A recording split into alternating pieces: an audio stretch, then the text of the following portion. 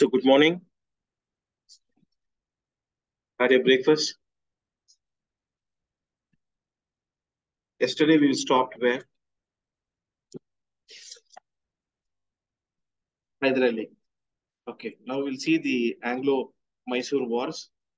So you saw that Hyder Ali came to a uh, to become the administrator and de facto leader of Mysore after the there was a treachery and you can see that Nanjaraja Devaraja was had usurped the power from the Chikka Krishna Raja, the first Odayar. So under him, you can see that the country was in chaos. The king was not in control. The officials, the revenue official and the, the army chief was controlling. So on this background, you can see rise of Hyder Ali brings lot of laurels to Mysore state. So first among uh, administrative steps taken by Hyder Ali is to reform the military because military is very backbone of the military is the backbone of any any government, any kingdom. If military is proper, if military is proper, the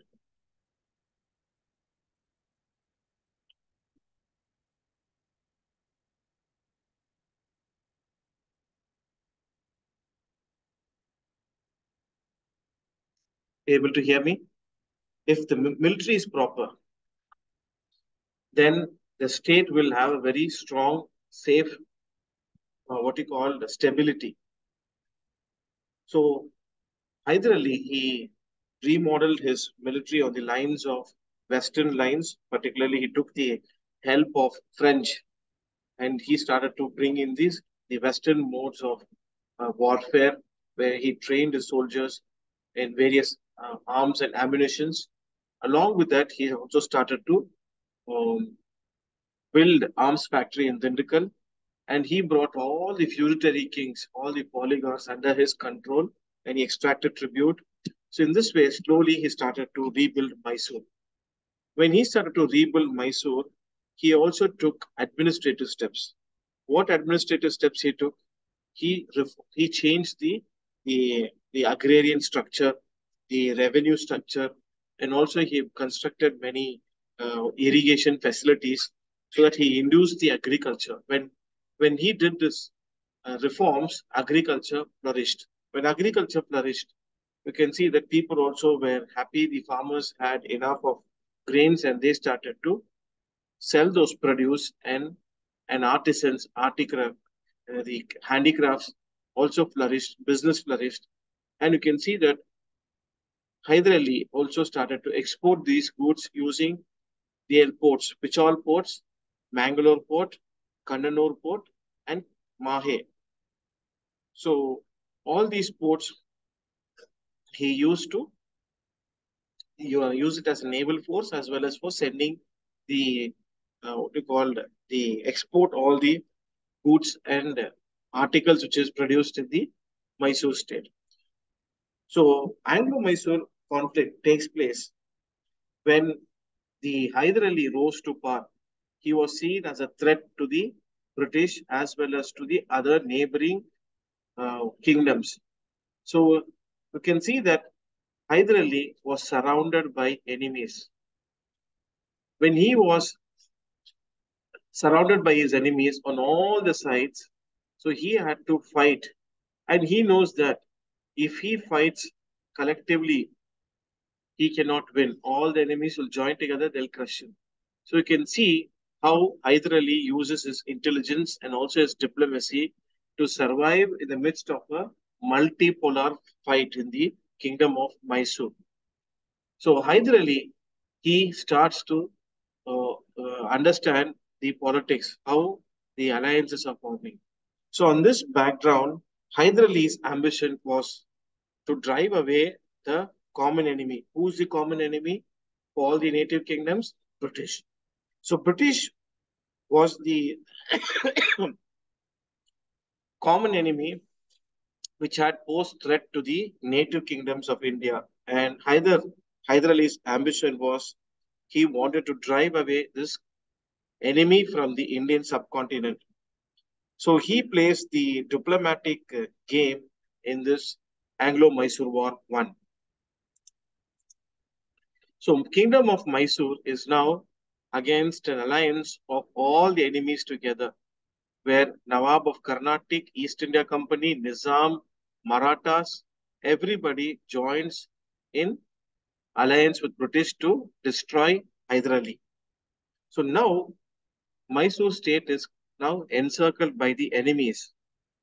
So earlier in 1761, in Battle of Panipat, the uh, third Battle of Panipat, Marathas were decimated by Ahmad Shah. And now, after the great defeat, now slowly the uh, Marathas are trying to regroup. So now the regrouping is happening and they wanted uh, more and more revenue. So they started to, uh, already Mysore was attacked twice in 1764 and 1766 by the Marathas prior to Anglo-Mysore War One, and they had extracted a lot of uh, wealth from Mysore state.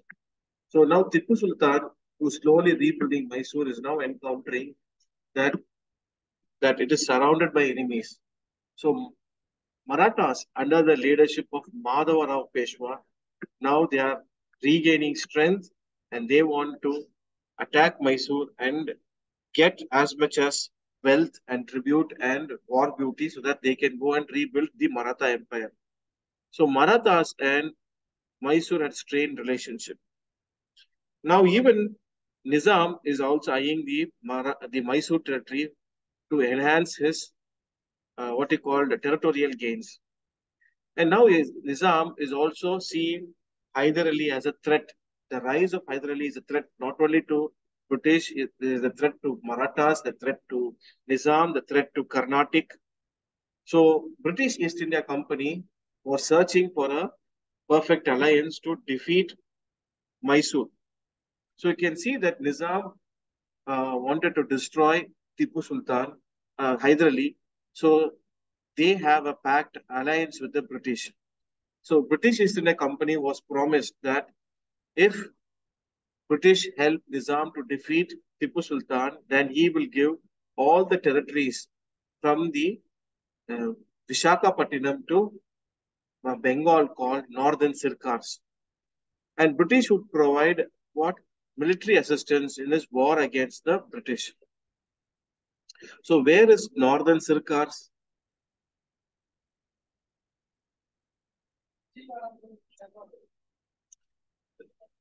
Can you see the northern Sirkars here from the Vishakhapatnam onwards till Bengal?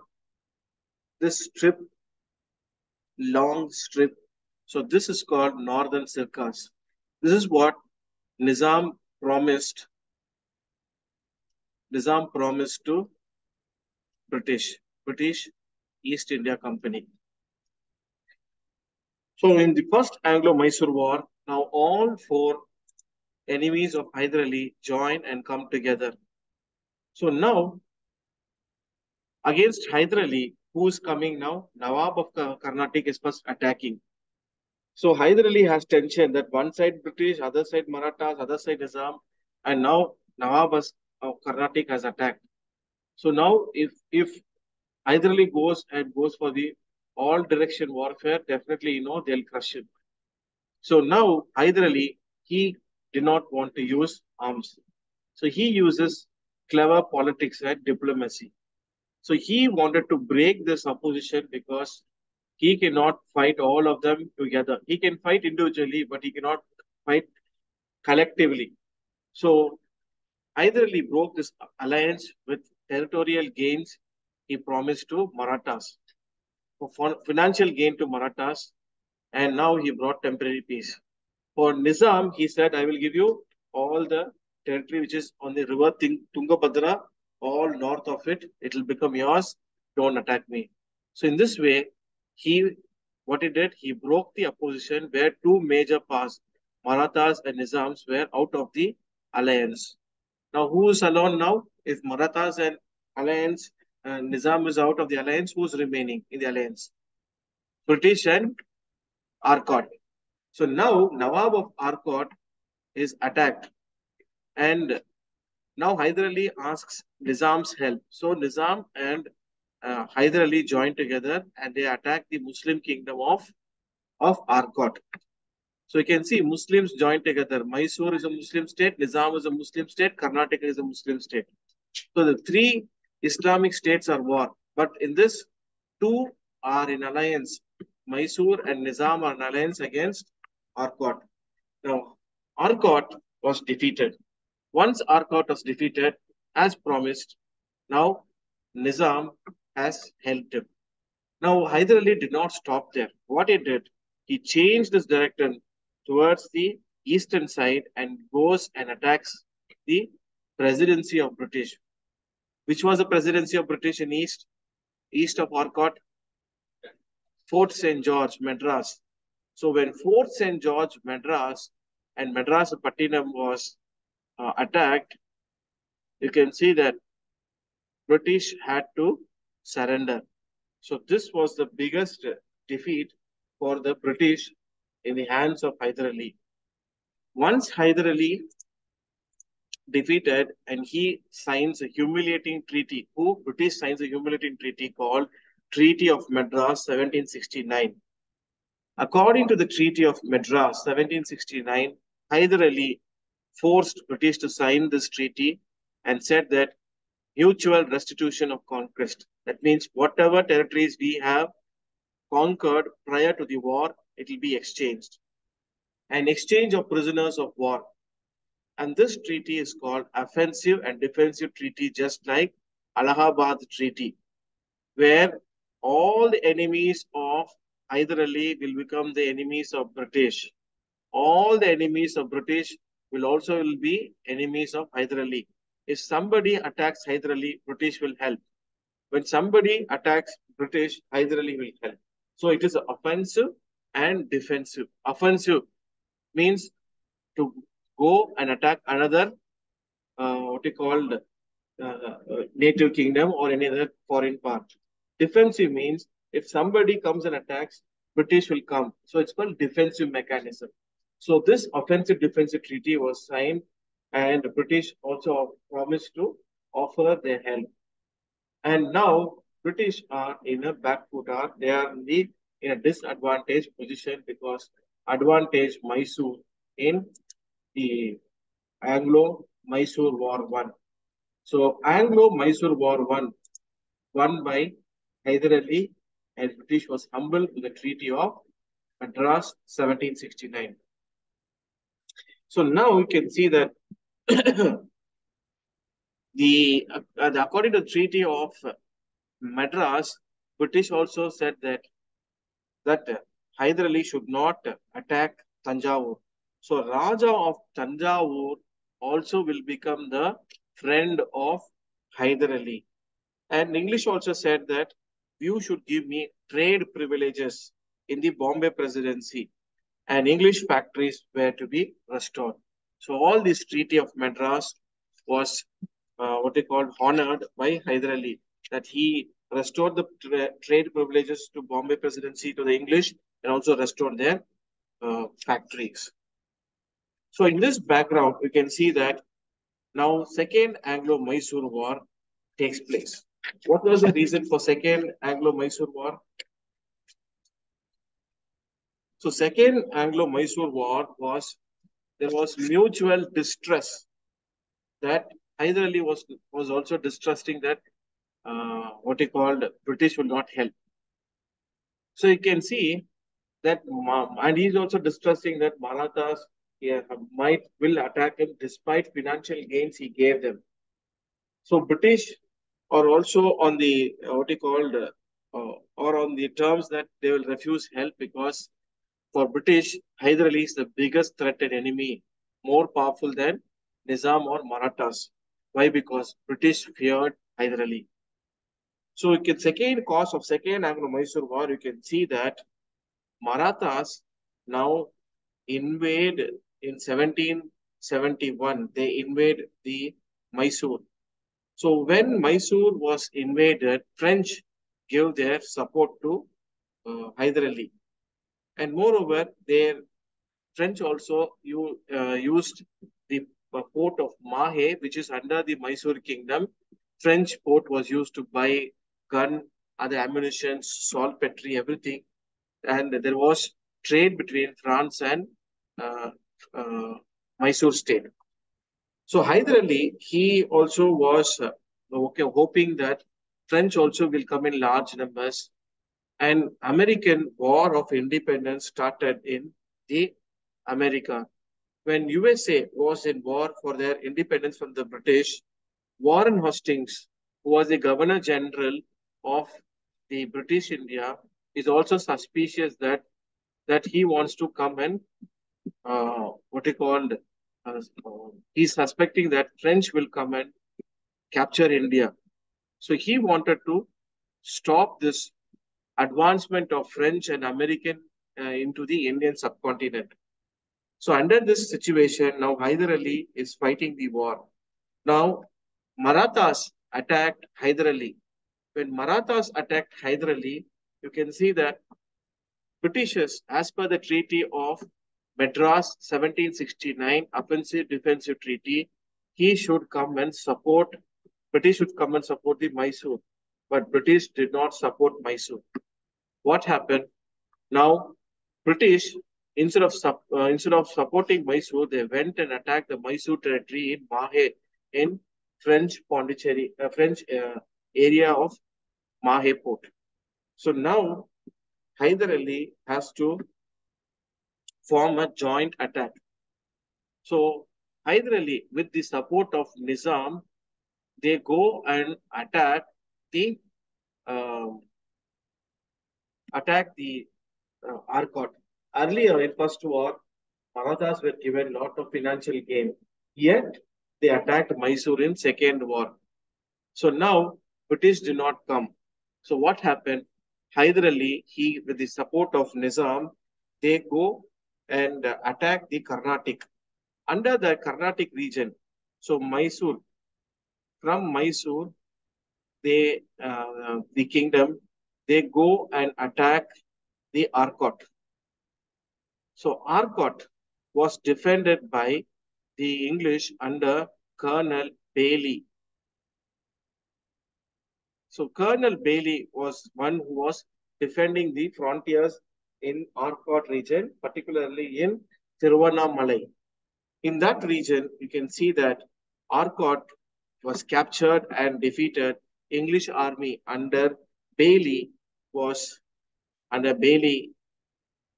Baillie it was got defeated. Now Hyder Ali wins this battle of Arcot. Once he does that, Hyder Ali goes from Arcot, he moves to uh, uh, to Port Saint David. So towards the Port Saint David, he goes. Oh, so, sorry, towards uh, Parangipete. So Parangipete, Porto Novo. So towards Parangipete he goes. So when he goes to Parangipete, there the British was under strong control under Sir Eyre Coote. Earlier, Sir Eyre Coote defeated Count de Lally's army in the Battle of Vandewash in Carnatic War 3 in 1760. After 22 years, you can see that 20 uh, after 22, 23 years, is again fighting a battle with Hyder Ali. So Hyder Ali forces and British forces, they engage in war in Porto Novo and Eyre Coote. Now he is very much uh, star, uh, what he called, uh, he is very strong. So he defeats Hyder Ali in the Battle of Porto Novo. So Battle of Porto Novo, Hyder Ali got defeated. Once Hyder Ali got defeated, he did not advance. What he did, he goes to Mysore to the base camp. In Mysore, he goes and he re what he called uh, he re-strategizes. So once after that, in 1883, 84, 1783, 84, he was was preparing himself to attack Arcot again. So this time he got renewed strength. So that defeat of Porto Novo, he has come out. So in 1784, he comes and attacks again Arcot. This time, the uh, the Arcot army, uh, Arcot was defended by Colonel Braithwaite. This time, Colonel Braithwaite, who defended the borders of Carnatic or Arcot, was defeated. So it's a big victory for whom? Hyder Ali. So during this, Hyder Ali's victory in this battle, in victory, he dies. Who dies in battle? Now, Hyder Ali dies. When Hyder Ali dies, Tipu Sultan, who was marching towards Madras, was forced to come and he took the charge of the Mysore kingdom and he was crowned Sultan in the battle. So in second war, he was crowned as the Nawab Sultan of Mysore. So Tipu Sultan took forward his father's struggle. So now we can see that the battle goes on for months together. British also was putting a stiff resistance. So when stiff resistance was offered, you can see that the British could not move forward. So what happened?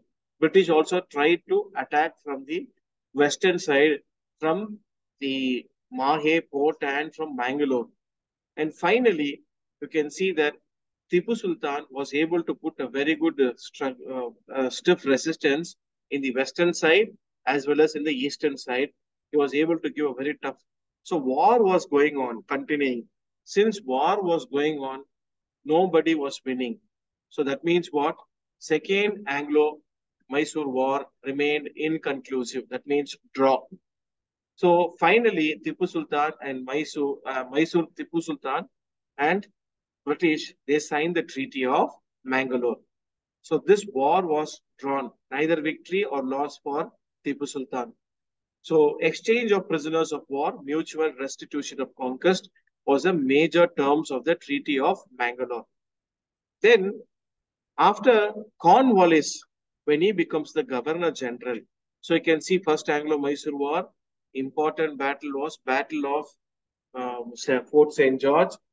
Mysore wins and uh, British loses. They signed the Treaty of 1769, Treaty of Madras. Second Anglo-Mysore War, they treat uh, they they signed the Treaty of Mangalore. War drawn. Now third Anglo-Mysore War. So during this third Anglo-Mysore War, you can see that again in this Tipu Sultan is facing the same trouble. What trouble? Trouble of enemies attacking from all the sides. So British this time was very uh, keen to decimate Tipu Sultan because Tipu Sultan was a big terror for the British. So now Lord Cornwallis, when he comes as Governor General, he was hell bent on defeating and overthrowing Tipu Sultan because you can see that in this cat and mouse game, you can just write this uh, Marathas, British, Mysore. So British feared Mysore. And Mysore feared the combined strength of Maratha Sardars. And Marathas feared British. So who feared my Tipu Sultan? British. And Mysore feared Marathas. And Marathas feared British. Can you see the circle? the cat and mouse game. So you can see now triple alliance is formed. Who all are coming? Again, British, Marathas, Nizam, Arcot, everybody are joining together. So now Tipu Sultan is asking, he sent emissaries to Sindh. He sent to Sindh and he sent to uh, uh, to Zaman Shah Durrani in Afghan, and he sent to Egypt. He sent to the the Turkish Ottoman Empire. He sent to the Turkey, and also he requested French, but only French supported. But Turkey, Sindh, Afghan, they could not send forces or supply because they did not have that capacity to come to India and naval force to help Tipu Sultan. So French helped. Now Triple Alliance is formed to defeat Tipu Sultan. So Tipu Sultan now is now joined by another Indian native state called Travancore. Why? Tipu Sultan's dominion, Mysore state, it had till the borders of Travancore. Near till Kochi was Mysore kingdom. So in this Mysore kingdom, how Mahe was a small enclave, French enclave in Mysore kingdom. Similarly, Jaikote and Kodungalur or Kranganur was there in Kochi. And this Kodungalur island and Jaikote areas, these principalities were under the control of Mysore, but it was given uh, to Dutch because Dutch was controlling this area. So Raja of Travancore, so he goes and has a deal with Dutch. He says that give me these principalities of Jaikote and Kranganur and for a money. So Raja of Travancore pays money and he takes back uh, and Kodunganur. So Kranganur uh, that is Kodunglur and Jaikote when he takes back. So when he takes back that he, uh, he the Tipu Sultan was forced. Huh? So Tipu Sultan now was forced to take action against Raja of Travancore. Why? He has encroached into treasury by without his concern, his sovereignty was, his sovereignty was violated. So Tipu Sultan considered Jaikote and Kranganur, which is in the Cochin region, as his own territory. So now Tipu Sultan wanted to teach a lesson to Raja of Travancore. So now the alliance be becomes bigger. So you can see that British East India Company, Marathas, Nizam, uh, now Arcot Nawab, and Marat, the uh, Travancore king all joined together. They wanted to see that their biggest enemy, Tipu Sultan, is decimated. So Marathas and Nizam, they attacked Tipu Sultan from north and northeast. British, they attacked from Bangalore area. Who Cornwallis comes with his force from Bangalore. He goes to Mysore, Srirangapattinam. And it was supported by even Travancore and Arcot from the northeast, from uh, Ar Arcot from the southern, uh, from the southwestern side, from from uh, it was attacked by the Travancore. You can see all out war. This is what Hyder Ali did not want, but Tipu Sultan got caught in this what he called uh, all out war through his encircle. Earlier, Hyder Ali played diplomacy. He broke the alliances, giving money and territory. But Tipu Sultan could not do because he had uh, come to a situation that neither he can give territory nor he can buy peace or, uh, or give money. So all the enemies attacked together with British superior force and they crushed. So when the Mysore was attacked from all sides, Tipu Sultan was defeated in this Third Anglo-Mysore War. So he had to sign a very humiliating treaty. So who defeated Tipu? Major General Meadows in 1790. Major General Meadows. So he defeated Tipu. So defeated Tipu in this battle, he could not, what he called, uh, later, after Meadows, Cornwallis himself take the control. And finally, in the Battle of Srirangapattinam, Cornwallis reaches, and it was supported by Maratha troops, Nizam troops, British troops, everybody, and they gave, but Tipu Sultan did not offer any what you call peace and all. He fought. Finally, he got defeated in this war after offering a very stiff resistance for one year of war. But this third Anglo-Mysore War ends with a humiliating treaty to Tipu Sultan called Srirangapattinam Treaty 1792. In this treaty, nearly half of the Mysore territory was shared between British, Marathas and Nizam. And other half, you can see, it was remaining with, uh, with, My, with Mysore, but he had to pay a war indemnity of 3 crore rupees. That was the biggest death knell. 3 crores are not a small, ordinary amount. It was a, such a huge amount. So, so Tipu, uh, total war indemnity was 6, 3.6 crores 3.6 crores. In that, he paid 1.6 crores immediately in cash. And later, he had to pay the 2 crore rupees remaining in three installments he paid.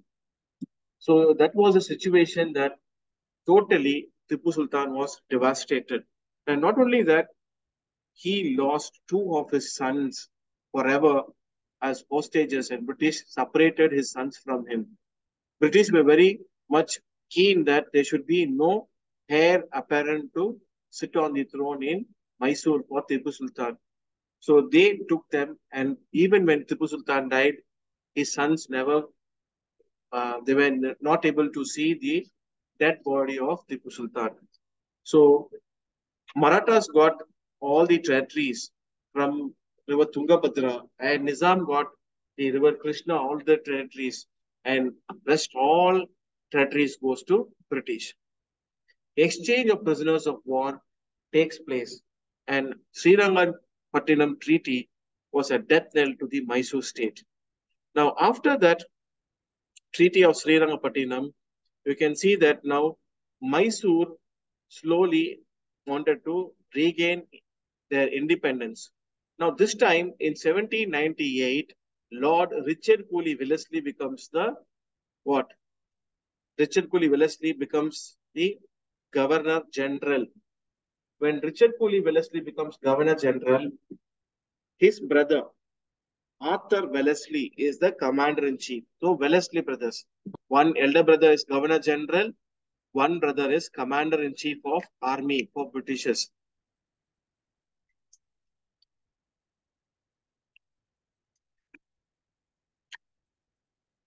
So Lord Wellesley, he was very keen that he wanted Mysore under his control. So he played a lot of what he called concentrated on decimating the Mysore. So he sends uh, what he called uh, information to the Tipu Sultan asking him to accept subsidiary alliance so that Mysore will come under the patronage of the English and a, a subsidiary force, professional English force will be stated Mysore Kingdom and its payment has to be taken care, welfare has to be taken care by Tipu. Tipu said no. When Tipu refused for sub subsidies alliance, now Arthur Wellesley plots the fourth war.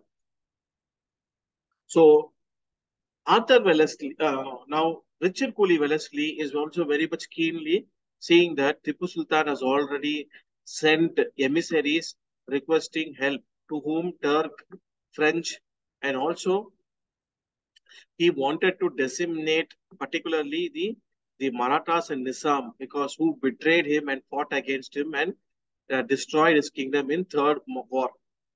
So now Tipu Sultan, now uh, Richard Wellesley ensures that that no help should come from abroad and even he should not get any help from the other native Indian states. So the fourth Anglo-Mysore War, uh, what he called, uh, had started. During this time, you can see that Tipu Sultan, he had taken uh, the membership of Jacobin Club. because he was very much fascinated by the French Revolution of liberty, equality, and fraternity. And he also planted the tree of liberty in Sri Srirangapattinam on in honoring the French Revolution. And as well as he took the title Padshah. Padshah was the title. They have asked in UPSC also this question. Padshah was the title he took.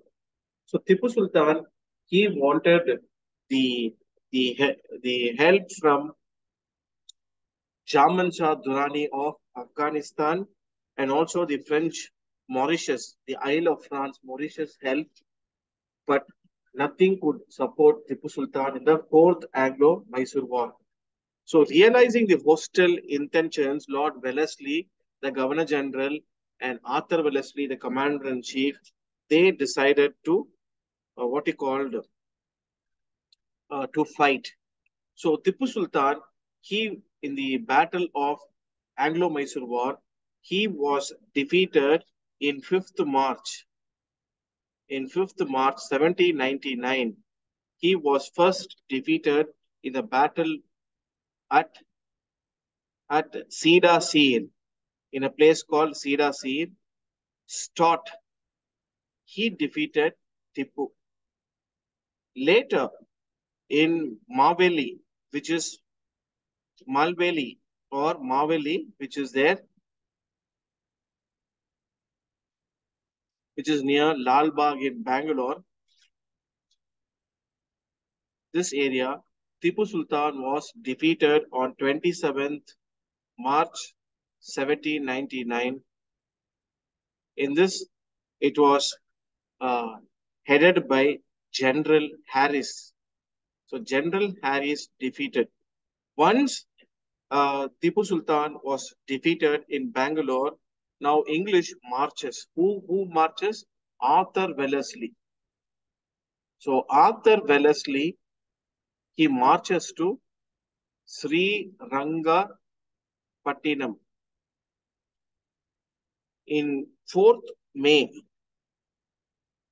1799 in the Battle of Srirangapattinam, Tipu Sultan dies fighting. He was killed by the soldiers of British in his fort and he died and later his body was discovered among the after the end of the war among the soldiers he was there so that shows that Tipu Sultan did not run away from the battle he died valiantly and martyred himself for the freedom of his motherland so who is Tipu Sultan so finally Tipu Sultan when he died now Mysore comes back again under the control of British. Now British brings back the old Wadayar dynasty. There was a young toddler called Prince Krishna Wadayar. He was given the charge and the and the regent was the Queen Mother. And now Mysore comes under subsidiary alliance. So first Anglo-Mysore War, Mysore wins, Hyder Ali wins. It ends with the Treaty of Madras 1769. Second Anglo-Mysore War, it ends with draw and it ends in 1784 Treaty of Mangalore. Third Anglo-Mysore War, Tipu loses, Alliance wins, it ends in humiliating Treaty of Sri Srirangapattinam. In Fourth Anglo-Mysore War, Mysore totally subjugated, Tipu is killed. Now Mysore comes under the subsidiary alliance system. So some facts for prelims. So today, the right-wing government and the right-wing uh, uh, fringe groups are all uh, direct, uh, demonizing Tipu Sultan. Is Tipu Sultan a person who is very cruel and he was uh, what he called a religious bigot? Whether he had the intentions of destroying the Hindus? Is it so? But what historians say? Historians are much kinder to Tipu Sultan than these uh, so-called fringe elements who are concocting stories. Now, what they are doing, they are saying that Tipu Sultan is not killed by British, but two leaders, brothers who are Gaudas, Okaligas have killed him. என்ன பண்ணாங்க மருது சகோதரருடைய photo வந்து mark பண்ணி இவங்க தான் திப்பு சுல்தானுக்கு கொன்னாங்கன்னு சொல்லி போட்டாங்க தெரியுங்களா அந்த கதை ஒரு ஒரு முப்பது நாளைக்கு முன்னாடி ஒரு மாசத்துக்கு முன்னாடி ஒரு பெரிய இது அப்போ ப- மருது அவர்களுடைய போட்டோவை போட்டு கலாய்ச்சிட்டாங்க ட்விட்டர்ல எல்லாத்தையுமே. அப்பதான் இது பண்ணாங்க. சித்தராமையா ஒரே ஒரு ட்வீட் கொடுத்தாப்புல. அது மட்டும் இல்ல இந்த ஒக்கலிகாசுடைய பெரிய இந்த இது இருக்கு. ரிலீஜியஸ் மட். அந்த தர்மாலந்தா சாமின்னு சொல்லிட்டு எண்பது assembly கான்ஸ்டுவன்சிஸ்ல he can he has the dominance இந்த எயிட்டி எயிட்டி ஸோ அவர் ஒரே ஒன்று சொன்னாரு. ஒன்னு நீங்க அதுக்கு சான்று கொடுங்க. திப்பு சுல்தானுக்கு சாக சாகடிச்சது யாரு? ஒக்கலிகாசுன்னு சொல்லிட்டு வரலாற்று ஆசிரியரை கூப்பிட்டு இங்க வச்சிருக்கணும் thank you so keep show me the evidences இன்னும் சைன் ஆகலமா பண்ணுது ஆ. So he said please give me the evidences. And if if so bring the historians and prove that it was killed then i will accept your otherwise i will come and campaign against the bjp party in all the constituencies. So bjp got startled. So their astra of bringing a community against islamic ruler was detailed because Okaligas know that he was kinder to them in Mysore, Mandya, Maddur, and other regions, Hassan regions, Tipu Sultan was kinder. So you can see that the, the Tipu Sultan is the first freedom fighter along with Rani Velu Nachiyar who stood the resistance, who violently uh, uh, uh, what we call defended their territories against the East India Company. And we can see that it was the native Indian states who played treachery, who played the enemy to these uh, heroes who had defended the Indian uh, subcontinent against the British rule. So Tipu Sultan, is he a uh, what you call religious bigot? No. First of all, his name is himself is what? Tipaswami. Second, you can see here the secular credential because the highest number official, Dalawai, the warlord, was a Hindu. And he had highest number of Hindus in, into his army as well as into administration. Not only that, Tipu Sultan, when he was ruling, the Sringeri Sankaracharya, he sends a SOS, help to Sankaracharya. Why? When Marathas had come attacking the, the Mysore kingdom, they decimated the temple of, destroyed the temple of goddess Sharada, the presiding deity of Shankar, uh, the Shankara um, uh, Mat or uh, what we call as Sringeri Mutt. So this Sringeri Mutt, the temple, the Mutt was in a very dilapidated condition. Those and the Guru Manavargal, the those uh, uh, students, pupils who are there in the mud are now starving. They don't have food, they don't have, and even the idol of Sharda is now broken. The temple is now on the verge of collapsing. They don't have any money. So, hearing this uh, uh, cry for help from the Sringeri Sankaracharya. Enga Sringeri? Where? Exactly. Sringeri is located on the western Ghats near to Chikkamangalore. That what they call Baba Budangiri, Kudremukh, in a place called Sringeri, which is a very beautiful picturesque uh, place in Western Ghats. So there, Marathas had earlier attacked and destroyed many temples. So now Tipu Sultan goes and sends his war general and immediately sends food, uh, whatever required food and money to them. And he ensures that he reconstructs the Sringeri temple and also a new goddess idol of Sarda Devi was installed and consecrated by Sringeri Sankaracharya. Additionally, Tipu Sultan gives nearly 20 villages, which is surrounding revenue villages, surrounding this Sringeri. All those 20 revenue uh, enclaves of revenue enclaves were given to the control of Sankaracharya so that no more financial trouble will come for the mutt. In that way, the Sringeri has a என்னது ஒரு கல்வெட்டு இருக்கு. அவரு எங்களுக்கு மாதிரி உதவி செஞ்சார். இப்படி செஞ்ச குருவானவர்களுக்கு எங்களுக்காக இந்த ஆலயத்தை மீண்டும் எழுப்பி சாரதா தேவியுடைய உடைய உடைய விக்கிரகத்தை பிரதிஷ்டை செஞ்சாங்கன்னு சொல்லி ஒரு வரலாறு இருக்கு. அந்த இது so now right wing fellows four months ago பஜரங்கல் RSS and ராமசேனா this Sena that Sena all those fellows went to Sringeri and asked Sringeri, the uh, Sankaracharya, Peethadipadi, uh, they asked him, please stop. By one puja called Tippu Arati. Uh, they called us Tippu Arati and they asked him to stop. Sringeri Kancha said, get lost. Because it was Hindus would destroy the temple, but a Muslim came and reconstructed and he gave. It was of, because of him, this Sringeri Mutt is surviving.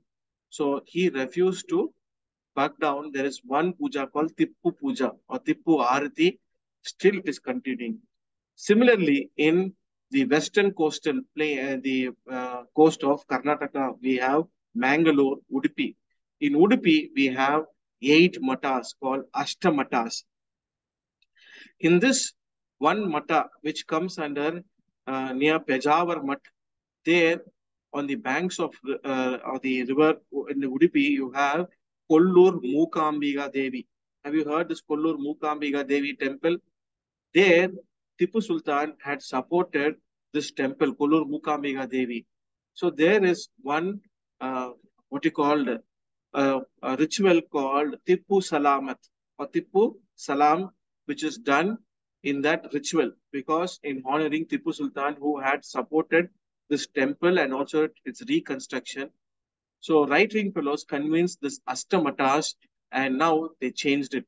But Sringeri uh, did not change any ritual. They continue till today. So you can see that that Tipu Sultan had supported. He did not uh, what he called uh, destroy any Hindu temples, nor he had killed any uh, what he called those Hindu priests or the pujaris or the Brahmins. So this establishes these secular credentials. So now right-wing activists say that he attacked Christians of Mangalore. Yes, he attacked. Why? Hindu kings did not go and destroy Hindu temples. Hmm? இப்போ இப்போ இப்போ பார்த்துட்டு இருக்கேன் இல்லையா புது பொன்னியின் செல்வன் ரெண்டுல என்ன என்ன நடக்குது ஆதித்ய கரிகால சோழன் யாரோட தலையை வெட்டுறாப்புல பாண்டிய அரசனுடைய வெட்டுறாப்புல தானே and they also destroy the temples yeah so when hindus destroy temples it is not sacrilege but when other community destroys it's sacrilege so you can see that today history has been concluded so the christians of mangalore in second anglo mysore war when britishers started to go towards mangalore area and tipu sultan was attacked on both the sides he was fighting secretly christians of canara which is called South Canara and North Canara, they made one pact. What is that pact with the British? That they wanted a separate kingdom for them in Canara. So entire coastal.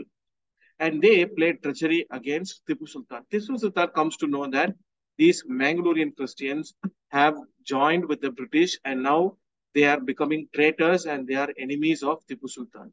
So Tipu Sultan takes strictest action against the Christians of Mangalore who had conspired against Tipu Sultan by joining the uh, British.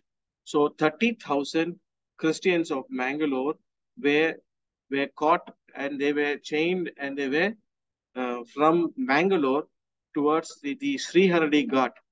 The Sriharadi Ghat which goes towards the, the Coorg, the Virajpet, Sombarpet to Mysore.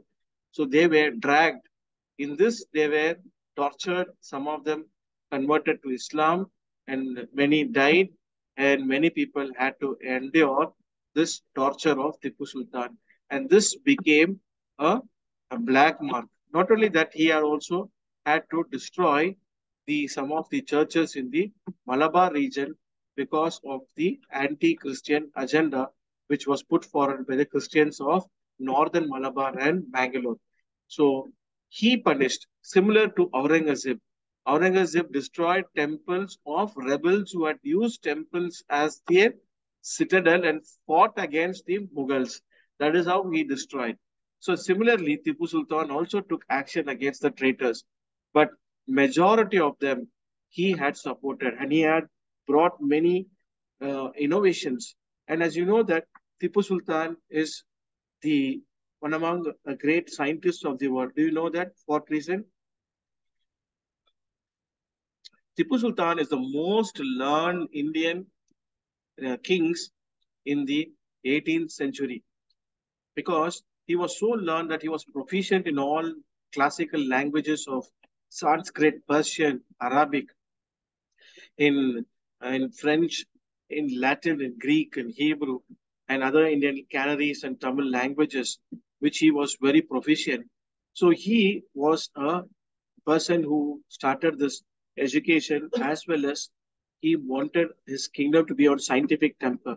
So he imported a lot of uh, materials, or magazines, books on scientific, and he started his, he had his own, uh, what you call laboratory, where he started his scientific experiments. Particularly, he was interested in physics and in the uh, in the ammunitions to build. So he brought the rocket technology of rocket propellant. So where what is projectile motion? Hmm? Which defies the gravity and goes makes a parabola. Correct that? Projectile motion, physics. So you can see that Tipu Sultan had made rockets and these rockets were able, so he was able to make in, in his, uh, what you called, அவங்களுடைய பட்டறையில செஞ்சு அந்த ஆயுத கிடங்குல he made uh, rockets and these rockets were mounted on poles and certain times it was mounted on carriages the carriage பார்த்திருக்கீங்களா இது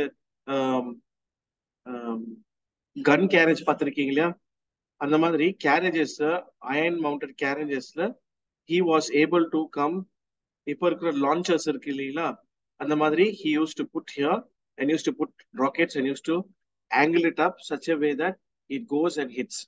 So this rocket propellant was able to hit a target of two to five kilometers. So it, it went certain times pre uh, precisely hit and gave lot of devastation. That is why Hyderabad and Tipu Sultan were very famous in winning the wars because Anglo-Mysore wars is four wars which started, we can say it is a 40-year struggle not one year, two year. Anglo-Mysore is nearly 40 year struggle. And this, they had many battles. So why was Tipu successful was they used technology and they also used the bovine. What is the bovine? huh? In the Amrut Mahal or Amrit Mahal, which is a breed, sub-breed of Hallikar, this cow. In the Hallikar cow, Yovla powerful na.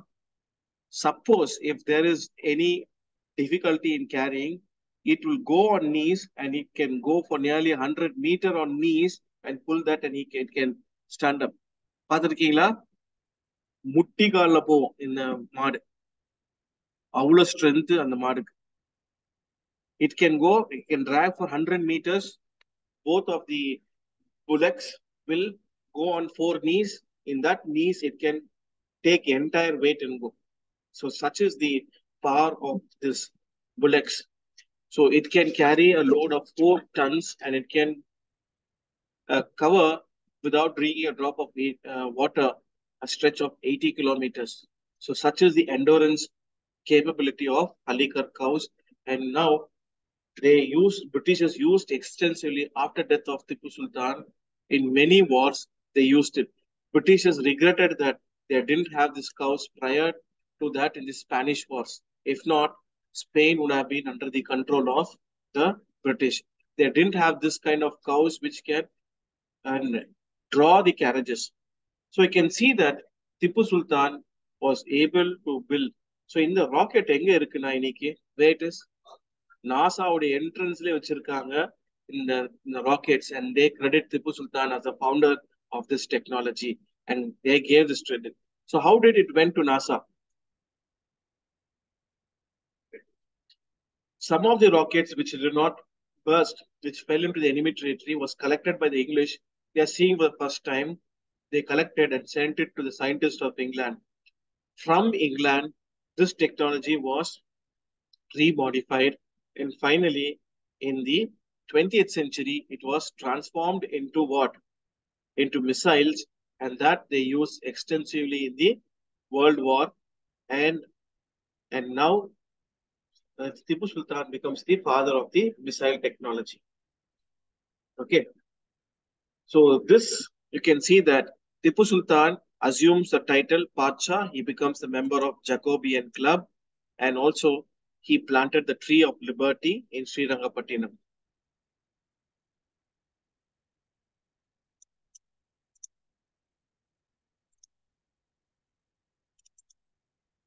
You want to take a break for five minutes? Please go take break and come.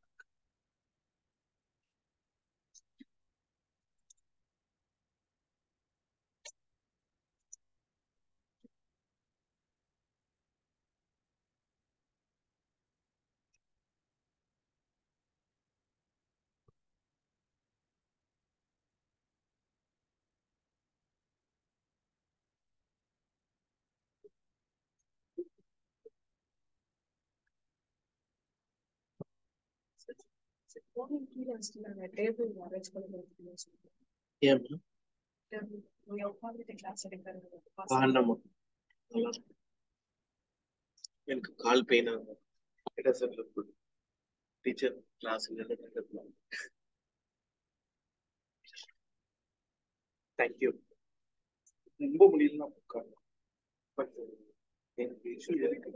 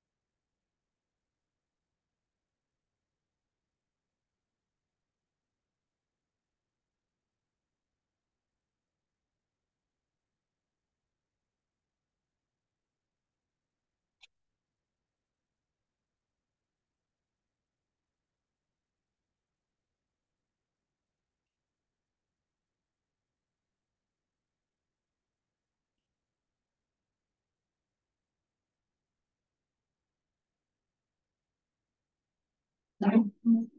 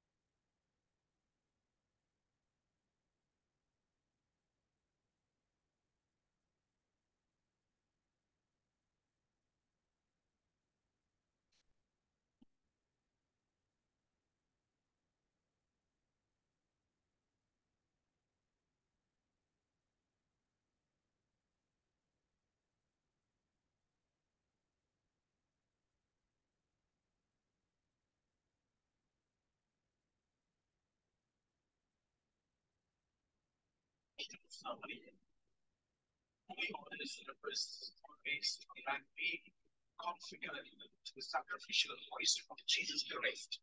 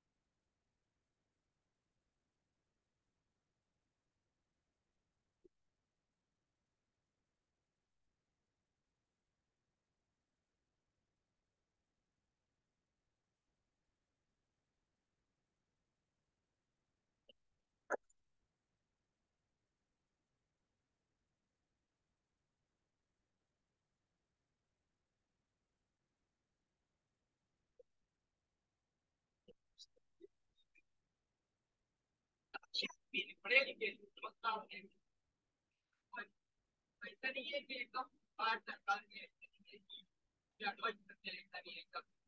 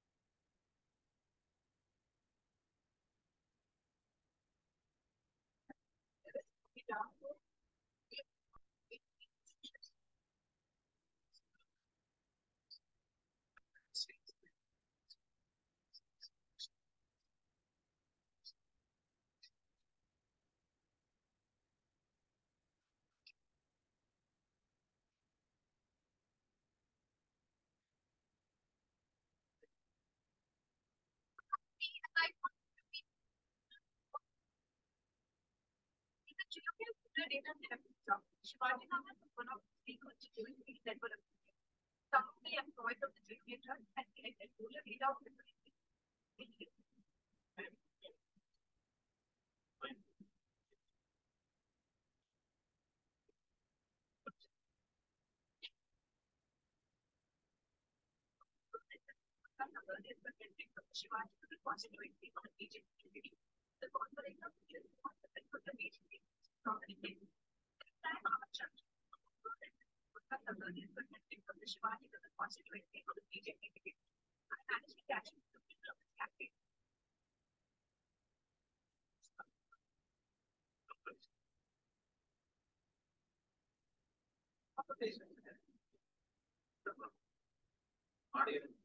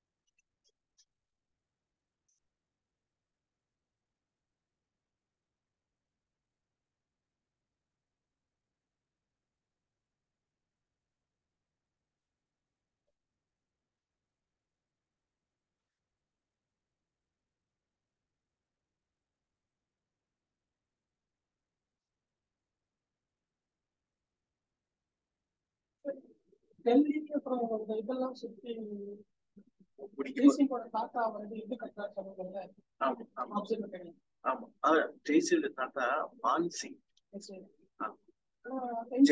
Jaisingh Sawai Jaisingh தான் போய் நிறைய கட்டுறாங்க. அந்த Mansingh ஆர்ஸ்வி Viswanathan time ஆனா மான்சிங் தான் ஜெய் ராஜா ஜெய்சிங் தான் சவாய் மகாராஜா ஜெய்சிங் தான் இந்த அப்சர்வேட்டரிஸ் டெல்லி ராஜ்புட் ஏரியாஸ் தாத்தா அது டெம்பிள் மான்சிங் கரெக்ட் இல்ல நீங்க இப்படி சொன்ன மாதிரி எனக்கு அன்னைக்கு ஃபீல் ஆச்சு. நான் அதுல படிச்ச கூட இவருக்கு இருந்துச்சு. கேட்டேன். இல்ல மான்சிங் காசி விஸ்வநாதர் ஆலயத்தை கட்டுறாங்க. அதுக்கு முன்னாடி அந்த ஆலயம் இடிக்கப்படுது. சிக்ஸ்டீன் சிக்ஸ்டி சிக்ஸ்ல அஹ், சிவாஜிக்கு ஹெல்ப் பண்றாங்க. எஸ்கேப் ஆகுது.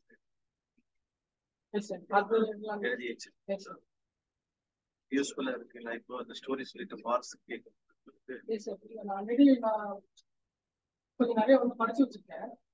நீங்க சொல்லக்கூடிய எனக்கு எல்லாமே பார்த்து கரெக்டா வருது எனக்கு பார்த்து ஒரு மிடில் கிளாஸ் யாரும் தெரியும் ஆனா அவங்க ஆர்ஜிங் தெரியாது நீங்க வெள்ளி சொல்றாங்க நாலு எழுதி பார்த்தாங்க ஆப்கானி ஈரானி இந்துஸ்தானி. எல்லாமே தெரியுமே கனெக்ட் கிடைக்குது ஸோ இப்போ அந்த இருக்காங்க ஆனா சாரி மிடில் ஈஸ்ட். அந்த கனெக்ட் வந்து அவங்க தப்பிலேருந்து இருக்கு. ஆப்ரேஷன் ஜனாதி எல்லாம் கனெக்ட் ஆல் யுவர் ஸ்டோரிஸ் சரி. நாளைக்கு டெஸ்ட் எல்லாம் இருக்குன்னு சொல்லியிருக்காங்க?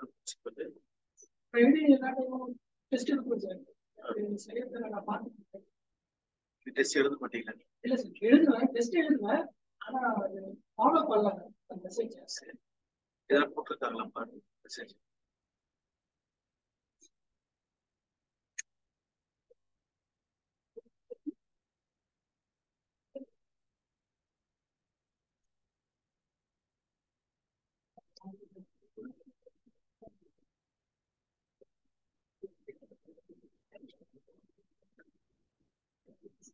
சொல்லுமா?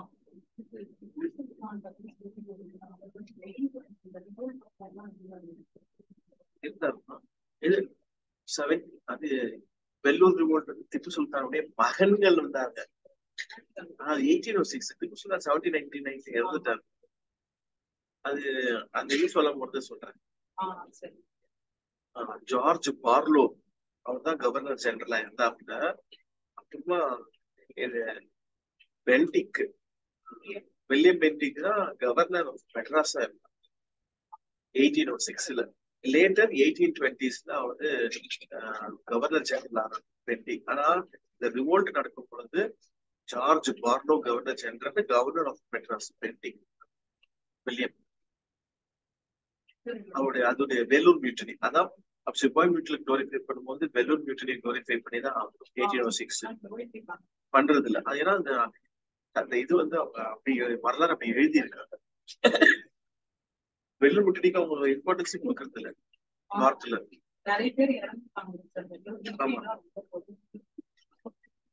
அது ஆர்காட் மியூட்டனின்னு சொல்லலாம் இல்ல வெள்ளூர் மியூட்டனின்னு சொல்லலாம். ஏன்னா அது it is the fort of Arcot Vellore ஃபோர்ட்ல தான் நடக்குது. அது பார்க்கலாம்.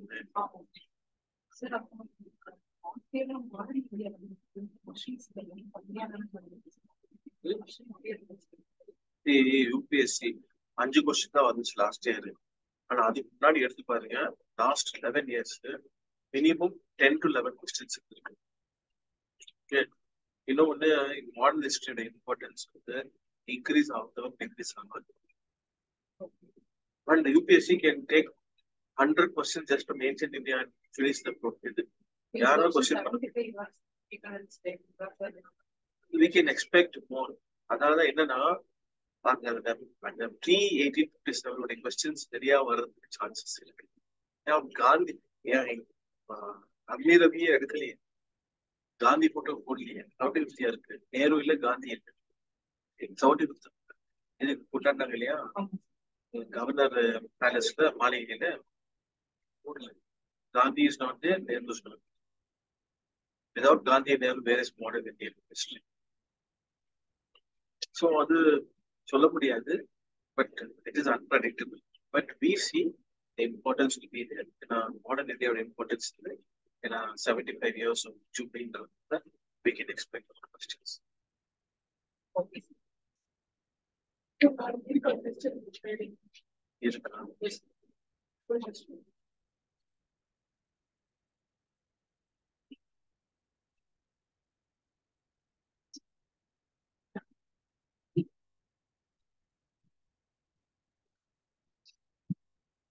Okay, welcome back.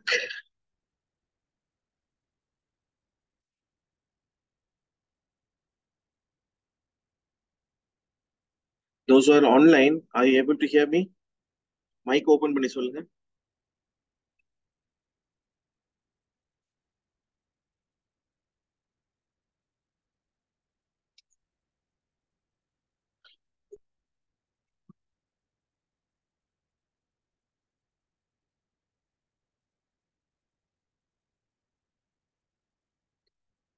Can you can you respond in the mic?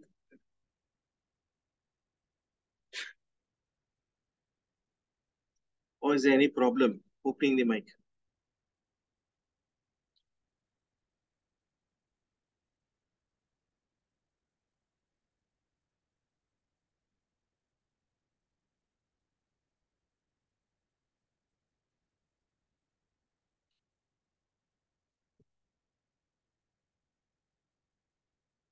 Okay, so now we will go into, we'll just see Hyderabad state, its founder, and then we'll go into the, the Nawab of founding of our the autonomous state.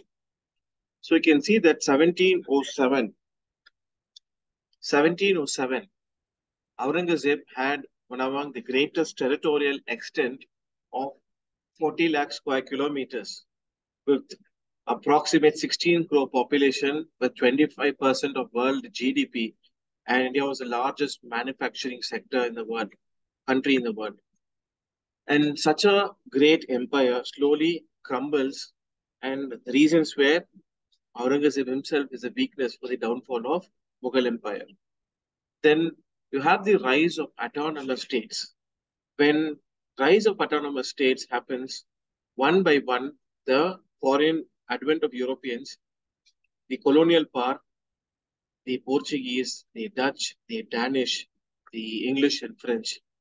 English decimates everybody and they become the only colonial power. And from becoming this, the only colonial power, they start to fight each and every native state and they bring them into one control and they establish supremacy of British and also with their policy of ring fence, they further their agenda and bring paramountcy and they become the masters of the Indian subcontinent. So you can see that during this 18th century, that Mughals were attacked from each and every side. There is various types of chaos. So you can see the Bengal is totally under the control of, of British. Later, you can see that Nizam, uh, they also accept the uh, subsidiary alliance and they are the control of the British. Finally, in Mysore wars, you can see Britishers take control of the Mysore. And you can see the Marathas were ruling the, the central part of India.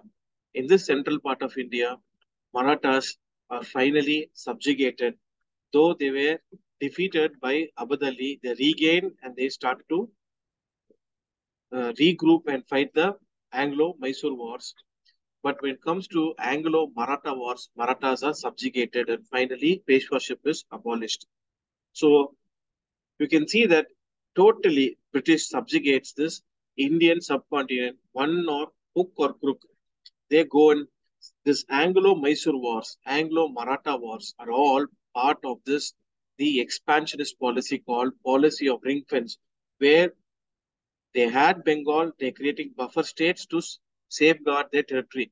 One by one, so that buffer state will become the territory, they'll create one next buffer state. So they create second line of defense. In this way, they bring huge territory in the Indian subcontinent under their control and they establish supremacy and paramountcy finally.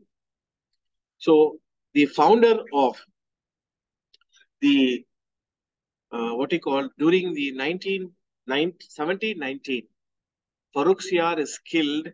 Sayed brothers bring in Muhammad uh, uh, Rangila. So you can see that Muhammad Rangila and is a personality who fears Sayed brothers. So who helps Rangila against the Sayed brothers? The Turani party. So Turani party nobles, particularly Mian Muhammad Amin Khan Turani and Nizamul Mulk Asaf Jaha Chin Kulij Khan, they help in decimating the Sayed brothers.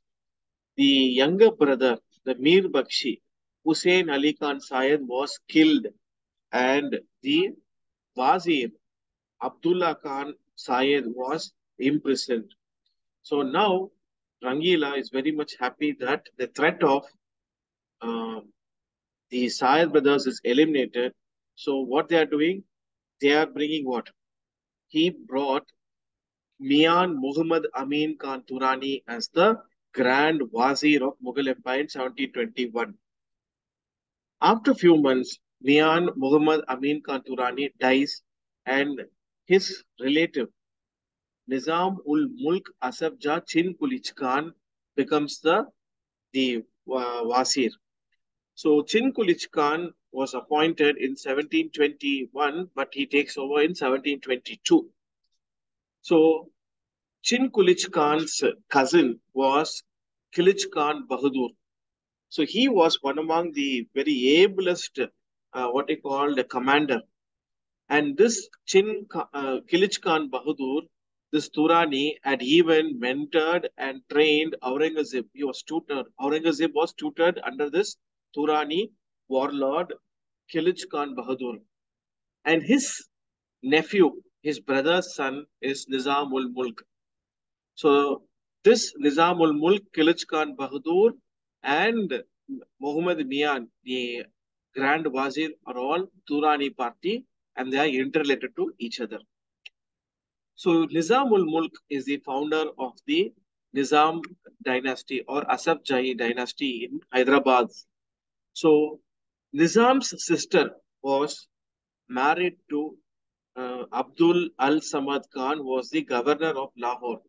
Later, his son, um, uh, Nizamul's son, Kamaruddin, was later appointed the Grand Wazir and was killed during the Battle of Manupur.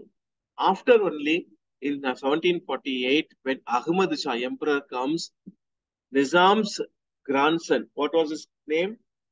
Firoz Jang III, Ghiyas Uddin Khan, uh, Imad ul Mulk, his grandson becomes the new Wazir. You can see from 1722 onwards, continuously, the Turani party nobles hold a very big command in the uh, Mughal polity. So, Nizamul Mulk's daughter was married to Zakaria Khan, who was the governor, Subedar of provinces in Lahore and Multan. So you can see Turani party had a very good hold on entire Mughal uh, polity in pan-India level. His relatives, sons and daughters are holding very good hold in the politics of Mughal Empire. So Chin Kulich Khan, Nizam ul Mulk Asaf Jah, the founder of the Hyderabad kingdom. So the founder of Hyderabad kingdom was appointed as Wazir by Emperor. Uh, he was appointed under the uh, in 1719. Later, he was given the governorship of Awadh. And after that, Chin Kulich Khan Nizam ul Mulk was given the governorship Subedar of Deccan. Additionally, in 1722, Rangila uh, appoints him as the Grand Wazir. Due to the court politics that was there from 1722 to 70, 1724, he was not able to withhold his himself in the politics of Delhi. So what, what does Nizam ul Mulk do?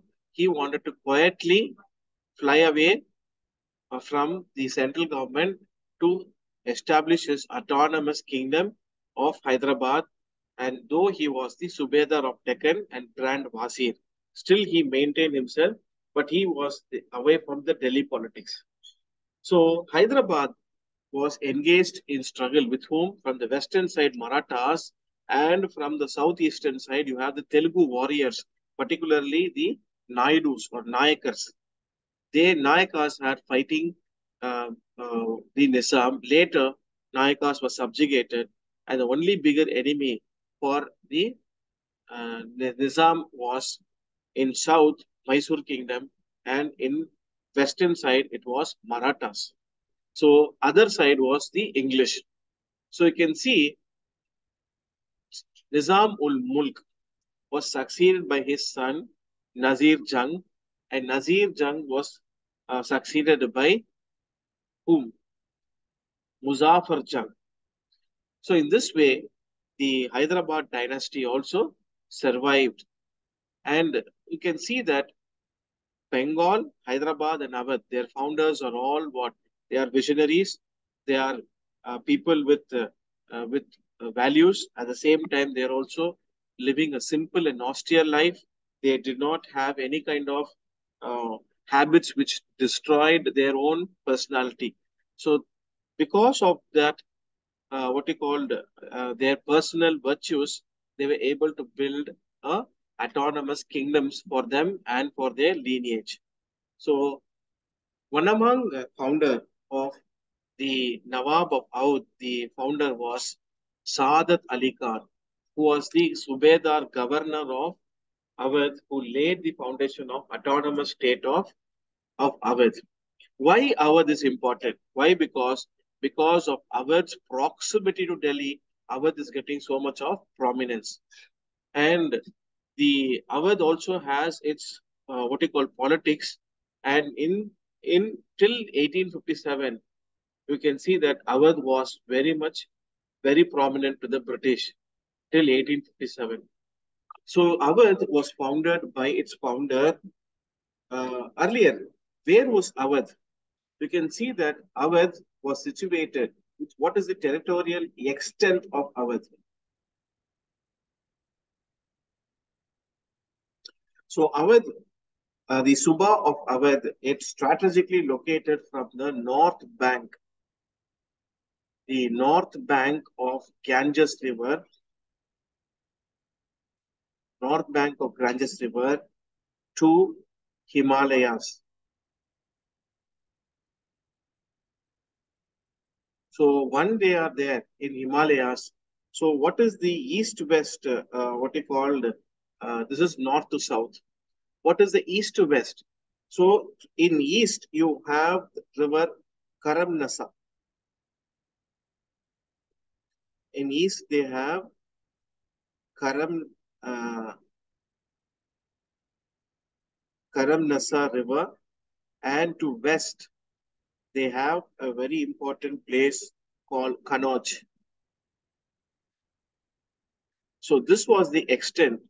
So you can see that in north to south, you have in north bank, you have this what Ganga in one side, Himalayas, then you have in east river Karamnasa, and in west you have Kanauj.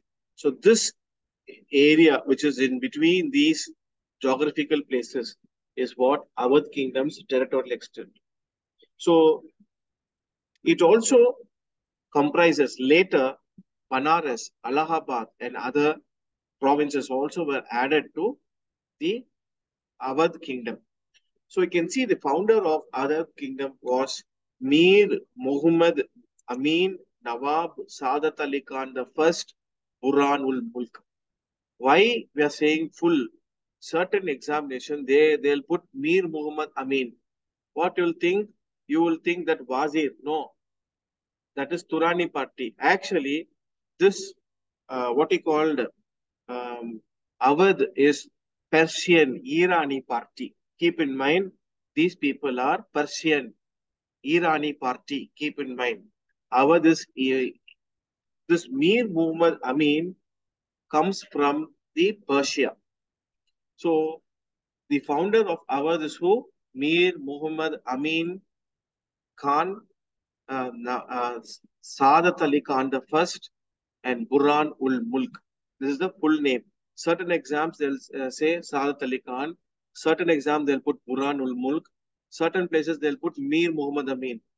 So you should not think that Mir Muhammad Amin is some other third person. A same person, three names, but to confuse the students in examination, what they will do, the paper setter will confuse the students. In such a way, they'll put only Muhammad Amin. Muhammad Amin is nothing but the founder and the governor of autonomous state of, of Awadh. Okay. So who is this Mir Muhammad Amin, Nawab Sadat Ali Khan? He comes from Persia. He was a very noble man and he comes uh, to India in 1705 and he he had joined the Mughal uh, what he called polity and he had served in the army, and soon he found favor in the eyes of whom? Muhammad Shah Rangila. So Muhammad Shah Rangila, he appoints um, the Mir Muhammad Mian Sadat Ali Khan Burhan ul Mulk as the governor Subeda in 1722. And this Mir Muhammad Amin Khan actually wanted to become Wazir. But this Wazir position was given to Turani party. He is a Irani party, Shia party. So somehow Muhammad Amin Turani and Nizamul Mulk Asaf Jaha Chinkulich Khan Turani party, they did not let this Irani party to get so to become Wazir. So you can see that when Nizamul Mulk was appointed Wazir, Burhanul Mulk Mir Amin, Muhammad Amin was appointed Subedar of, of the Awadh province. So Sadat Ali Khan was the founder of the independent empire of Awadh. So this Persian who uh, who is now in uh, been appointed was appointed for a specific purpose because of his talents. So he is a very bold, brave, and intelligent person. So that is why Rangila appoints him as governor of Subedar of Awadh. What kind of charge was Awadh? When Muhammad Amin, Muhammad Amin Burhanul Mulk, Sadat Ali Khan was appointed, Awadh entire province was rebellious. It was in chaos. That means that it was a very difficult charge because they were rebellious from zamindars. Everywhere there were issues sprung up. Because of sprung uh, these issues in the province, people were not paying taxes. When they don't pay taxes, when they don't, uh, uh, what you call, give the tribute to the king, then what will happen to the state? அரசாங்கத்துக்கு வரி கொடுக்கலன்னா அரசாங்கத்துக்கு உரிய அந்த என்ன என்ன நடக்கும்? அப்போ அப்போ அவங்க அப்ப அந்த சென்ட்ரல் கவர்மெண்ட்டுக்கு with respect relationship with state is what it is rebellious they're not subduing to the king so each zamindar now started to have their own fiefdom fiefdom என்னது? இந்த வார்த்தைக்கு அர்த்தம் என்ன? ஃபீஃப்டம் It is called an autonomous kingdom which they found under a, under a kingdomல அவங்க சொந்தமா இன்னொரு அரசாங்கத்தை உருவாக்கி அவங்க அவங்க அவங்க ஆளுமை செய்யறாங்க அந்த இடத்துல அங்க சுத்தி இருக்க அந்த அரசாங்கம் அவங்களுக்கு எந்தமே there's no what you called power over the fiefdom so this zamindars and other small uh, kings who are there they had their own autonomous rule they never paid taxes they had a very strong army for themselves so they had their own kingdom in Awadh and they did not respect Muhammad Shah Rangila. So now Rangila wanted this uh, governor, uh, this province of Awadh to subjugate and pay taxes to him. And there, where Rangila's name is respected and accepted as the Mughal emperor. So can you see, when Aurangzeb was there, none of these uh, zamindars had the, the guts to rise up and say, we will not pay tax. But later Mughals, after what the subjugation, slowly under the puppet, uh, uh, under the de facto rulers of the Mughal polity, nobles, everybody is behaving autonomous. So this was a difficult time when Burhan ul Mulk, Saadat Ali Khan, Muhammad Mian, Mir Muhammad Mian was appointed as the governor of Subedar of Awadh. So he was very successful. Saadat Ali Khan, with within a year, he was able to curtail all the rebellions, and whoever resisted, he he, he had uh, defeated them, brought all the rebellious zamindars under the control, and he destroyed all their fiefdom. All their armies were dismantled. In one year's time, he was he brought back the the rebellious leaders and and he started to govern efficiently. And not only that, he is a person with virtues and values, Saadat Ali Khan. He never had any, uh, what he called, habits what the Mughals had, like drinking wine or making merry and he with the with the company of haram women. So he was very austere, very simple. Though he had the kingdom, he will not use kingdom's money for his personal use. So Sadat Ali Khan, you can see that he was the only personality who lived his entire life safeguarding the um, Awadh province for the betterment of the people of Awadh and central government, Mughal Empire.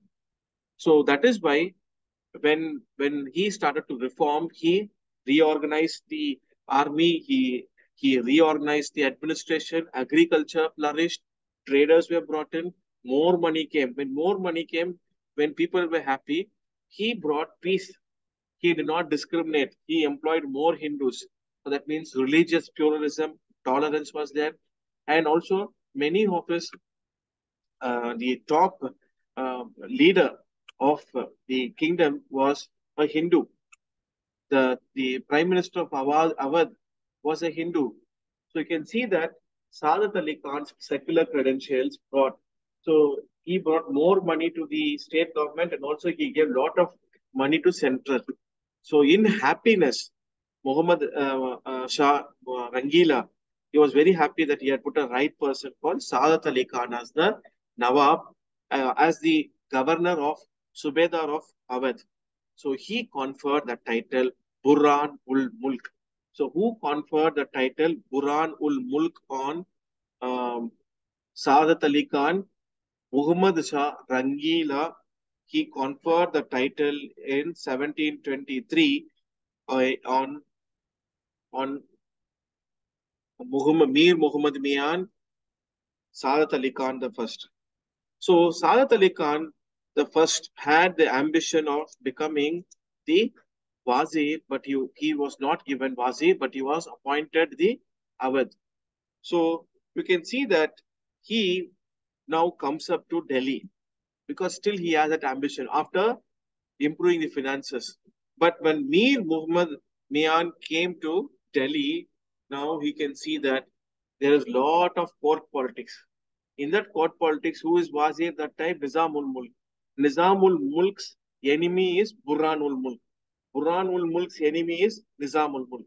So both were not seeing eye to eye because both are in competition with each other. So Sadat Ali Khan is very much envious and he's angry that he did not he did not become Wazir because that position went to Nizamul Mulk. So slowly Nizamul Mulk departs in 1724 to Hyderabad and even Burhanul Mulk in 1724 departs from Delhi to Awadh. Why? Why did Burhanul Mulk, Nizamul Mulk depart from Delhi? You can see the politics of Delhi court. By this time, Rangila, he comes into relationship with a public dancing girl called Koki Jiu. So this Koki Jiu becomes the what supra leader of Mughal Empire and she accompanied a transgender eunuch called Hafiz Khidmatgar Khan. So this Hafiz Khidmatgar Khan becomes the one among the favorites of Emperor Rangila. So he was uh, what he called came in conflict with both the Burhanul Mulk, Nizamul Mulk, and he started to poison Nizam uh, uh, uh, against Nizam and Burhanul Mulk. So the emperor started to believe all those things, and lot of ego clashes and other things happens, and other court factions, other nobility also conspired. So both said, never we are going to stay in Delhi. One went and settled in Hyderabad and founded Hyderabad Autonomous State. One went from Delhi to Awadh and founded the Autonomous State. So you can see that uh, Burhanul Mulk wanted his own lineage to continue because he knows that when somebody is appointed, they will not take care of the people. So he was ensured that his his relative, somebody who's whom he wants, he trains, sits on the throne after him as a leader. So Sadat Ali Khan slowly he makes Awadh as his autonomous kingdom, but he keeps the communication with central government with Rangila. The communication was clear. He sends the money to central government. So Rangila is happy that unless until he gets the money and communication is clear, he is not going to trouble Sadat Ali Khan. So Sadat Ali Khan, he wants his nephew, Safdar Jung, to succeed him. So what he does, he marries uh, his sister's son to his own daughter. That means Sadat Ali Khan's nephew and his son-in-law is Safdar Jung. So when so Jung is both his sister's son and his own son-in-law because law Ali Khan gives his daughter. So Safdar Jung marries his uncle's daughter, Mama's daughter. So now Safdar Jung is groomed on the way how Sadat Ali Khan was there. So you can see Safdar Jung ensured that uh, that he is also trained, he gets all the uh, wisdom from Sadat Ali Khan. So Sadat Ali Khan now goes and asks Rangila that I want my son-in-law to become my deputy Subedar of Awadh. So Rangila accepts. Why? He knows the, the quality of Sadat Ali Khan, he knows the capacity and his loyalty to central government. So he accepts. So Sadat Ali Khan's nephew Safdar Jung was made the deputy uh, Subedar and he becomes the successor to Sadat Ali Khan. So during the uh, this period, now Sadat Ali Khan establishes Awadh as a hereditary position to them. So 1723, when Sadat Ali Khan became the the governor of Subedar of of Awadh, he starts new revenue settlement. He improves the the peasants' life by providing equitable land revenue. What do you mean by equitable land revenue? Equal means not in equal, uh, what you call the terms of revenue, according to the soil fertility, the yield, the capacity of the peasant farmer, he put taxes, not arbitrary.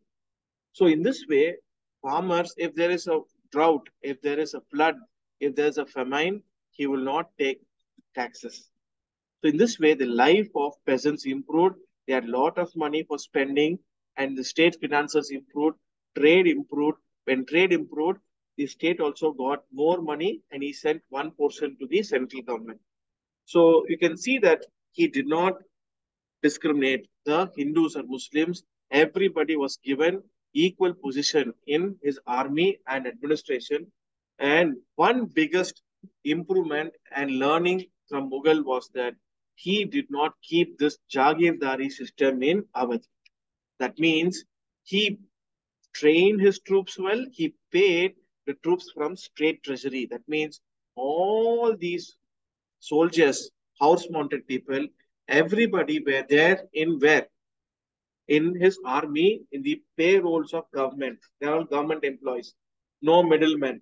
So in this way, he improved the finances. He kept a very strong army, well paid, well trained, and also he took care of the state well. So this, uh, what he called administration, what it gave was very efficient. So Saadat Ali Khan's relationship when with the Mughals was kept alive. So during the Battle of Karnal, 1739, Rangila, uh, Rangila comes. Um, so Rangila asks for help.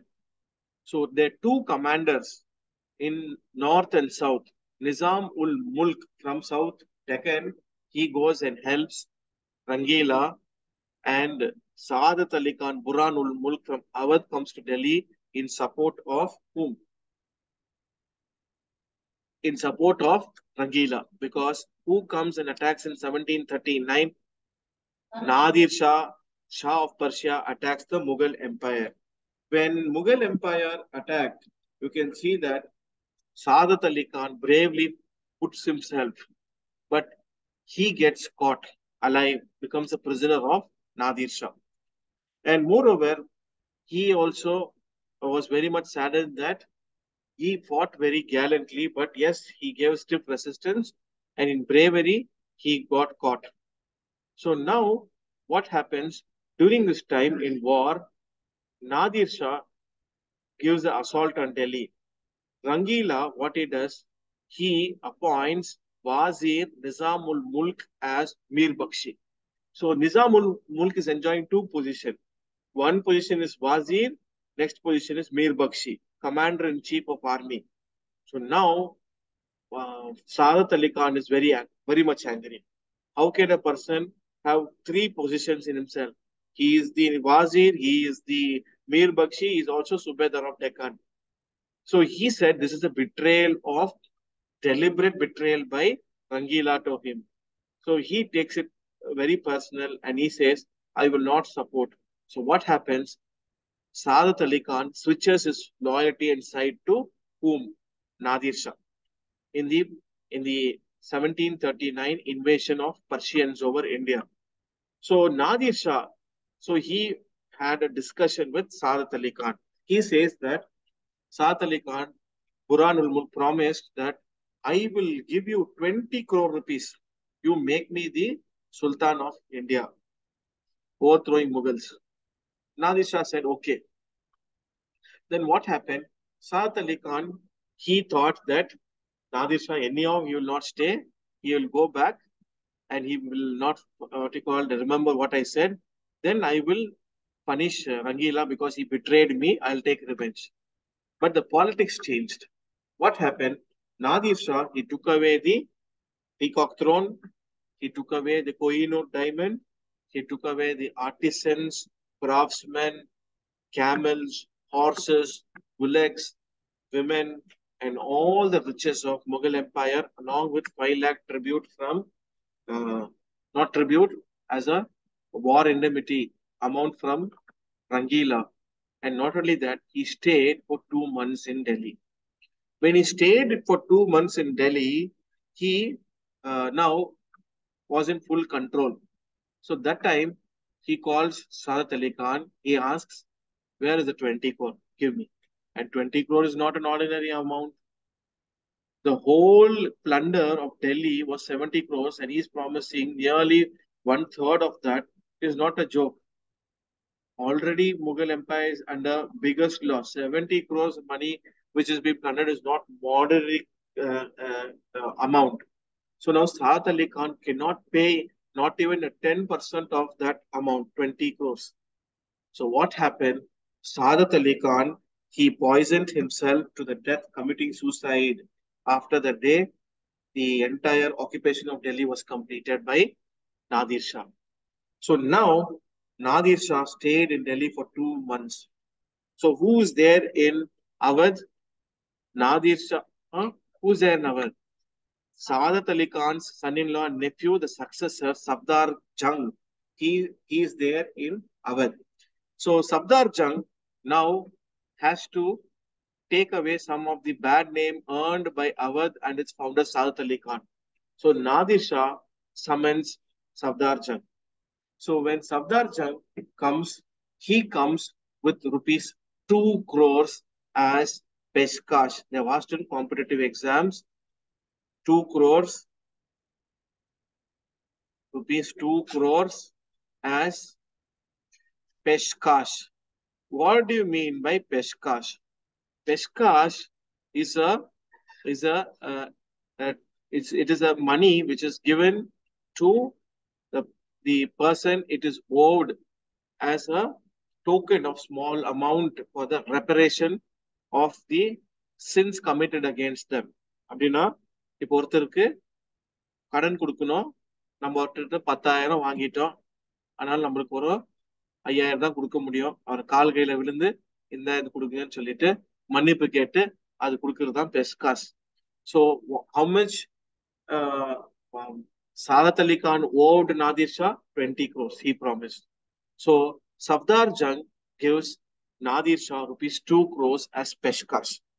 So during this time, uh, Nadir Shah accepted and he said, Nazir, uh, Safdar Jung will now henceforth will become the Nawab of Awadh.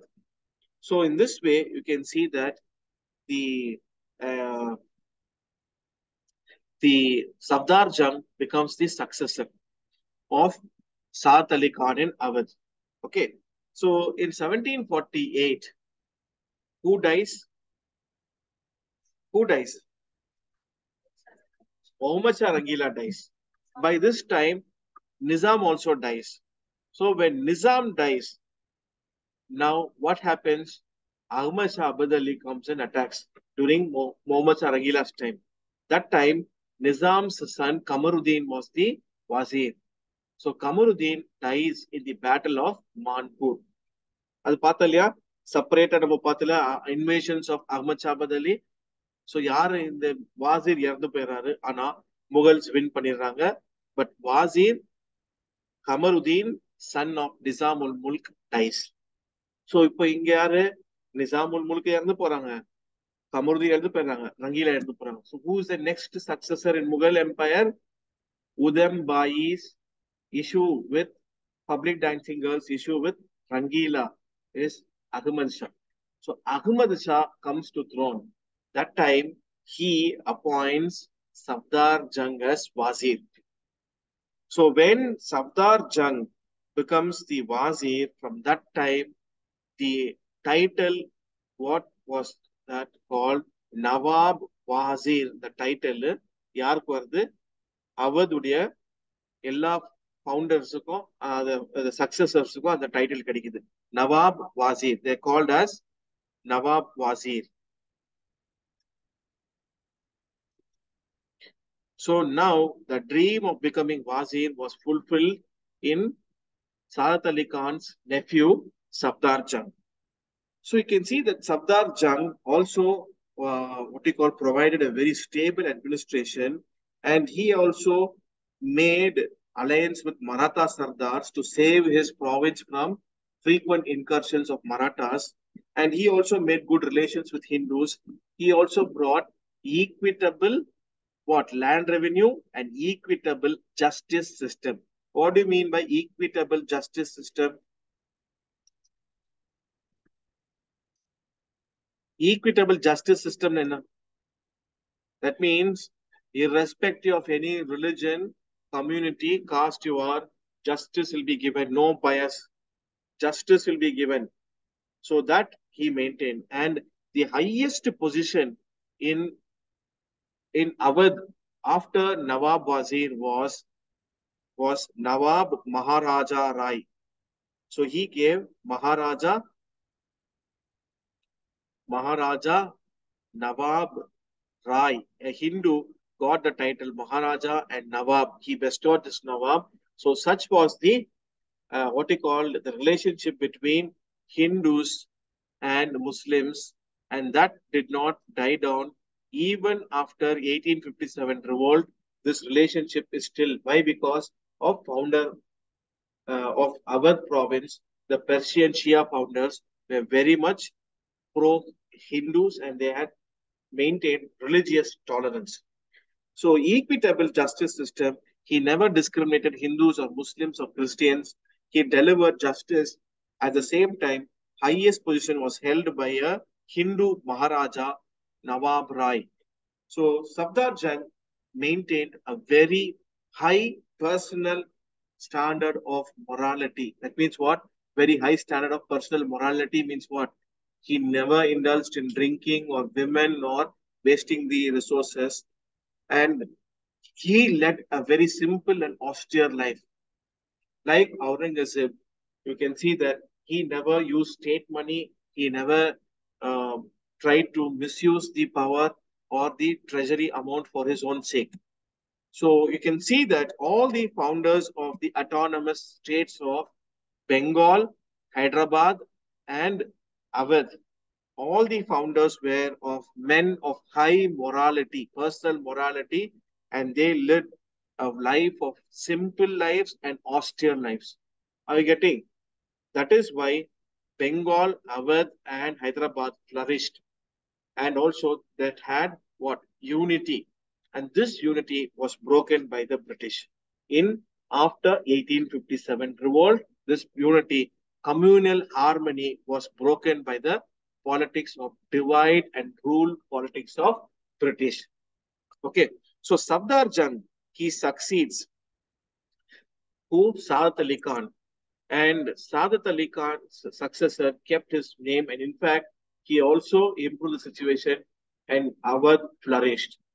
Safdar Jung is also called by his name Abdul Mansur. So Abdul Mansur is his name. So he dies in 1754. When 1754 he dies, he is succeeded by his son, uh, uh, uh, who is succeeded? He is succeeded by his son of Safdar Jung is called Ali Gauhar. And Ali Gauhar, when he becomes the third Nawab of Awadh, he takes the title, sorry, so Suja Uddawla uh, was succeeded by, um, um, uh, Safdar Jung was succeeded by Suja Uddawla. So during that time, who was the uh, Mughal emperor? Mughal emperor was Shah Alam II, whose name was Ali Gauhar. So, so you can see that during this time, Ali Gauhar was a what? A fugitive king. Why? Why? Because of Wazir Imad ul Mulk, he runs away from Delhi and sits in Allahabad. Allahabad is under the control of Nawab of Awadh. So you can see that Safdar Jung's successor, Suja Uddawla, is was uh, appointed. So you should not confuse Suja Uddawla and Suja Uddin Muhammad Khan. Suja Uddawla is son of Safdar Jung, Awadh. Suja Uddin Muhammad Khan is son of Emperor Shah Jahan. So in this way, you can see that Suja Uddawla, who sat on the throne of Saadat Ali Khan.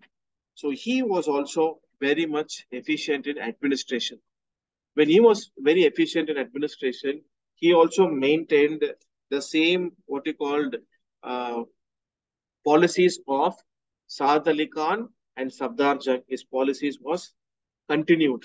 So he ruled from 1754 till 17 uh, uh, what he called 61 uh, very efficiently. 1761, who comes and attacks Delhi? Ahmad Shah Ali. So who plays this politics in Delhi? The Rohilla party headed by Najib ud Dawla. This Rohilla founder, Najib ud Dawla, plays politics. He promises uh, whom? He promises the um, the invader Ahmad Shah Abdali Durrani that you can become the emperor. So he was the one who brings them to fight the Marathas. And because Marathas were instrumental in throwing his Uh, uh, him out of the power in Delhi, Rohilla Khan. So he, Najib Dawla, also brings Suja ud Dawla, the Nawab of Awadh, in alliance with Abdali. So who is there in the third Maratha, uh, the third battle of the battle of Panipat 3 in 1761, 14 January, Najib ud Dawla, so uh, Rohilla ruler, Suja ud Dawla, Awadh ruler, plus Afghan Emperor Abdali Durrani. All three together, they came in confrontation with the Marathas. So Marathas were decimated and humbled. Why did Suja ud Dawla, the Nawab of Awadh, had uh, uh, went in an alliance with the Abdali because Marathas under Sada Shiva Rao Bhau were going and frequently entering the Awadh territory and they were extracting tribute. So this Najib uh, uh, Suja ud Dawla, the third successor Nawab of Awadh province, was very much uncomfortable that a Hindu is coming and troubling and putting a lot of stress on his administration. So in order to teach a lesson on this Hindu Marathas, Suja ud Dawla wanted he, that Marathas should be humbled and they want to be decimated. So that is why Suja ud Dawla joins Ahmad Shah Abdali along with Najib ud Dawla. No conclusion. Now, what happens? Later, you can see that now, once Marathas were subjugated, you can see this Afghani party. Now, you can see the Alamgir the second now was run away from where he goes and stays in Allahabad. So in Allahabad, you can see in 1764, there is a big problem for the Mughal Empire. What is the problem? Mir Qasim, the Nawab of Bengal, is uh, runs away from uh, Munger to Patna. He kills the people there and he comes to Awadh seeking help to fight the British. So Suja Uddawla gives asylum to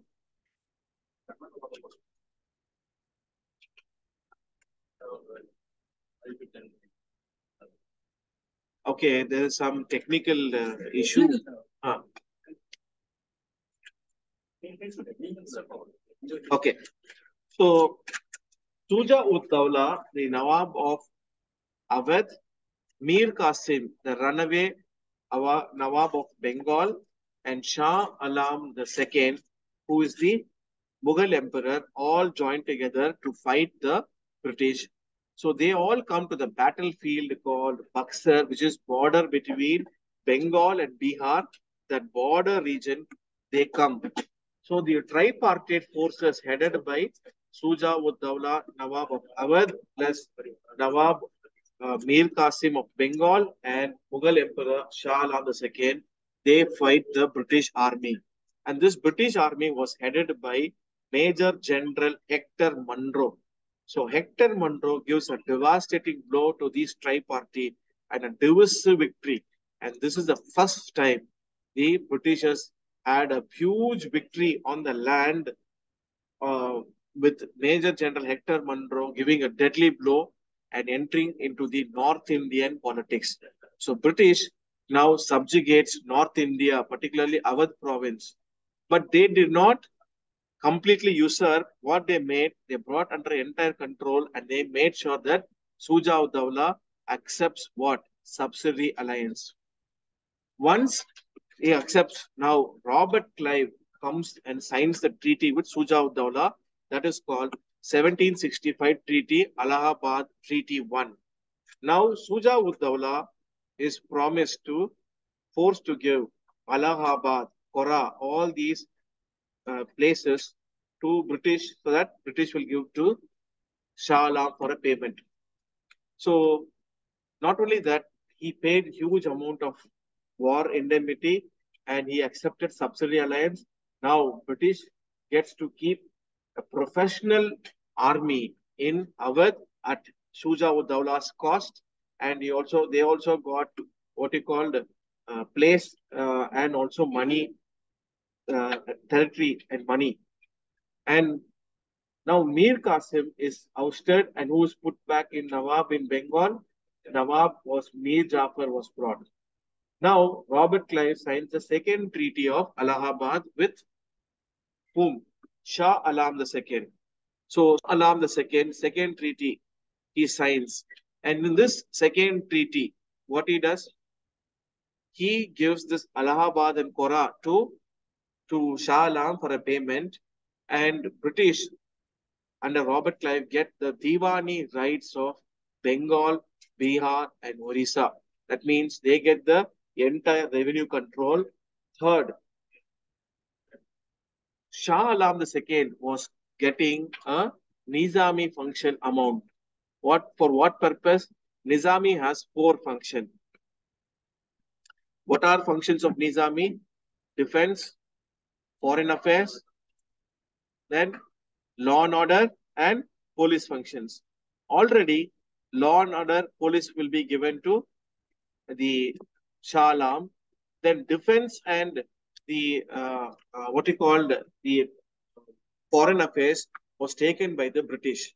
So British will will appoint what a resident to look after the affairs and a deputy Nawab to look after the law and order and the police functions.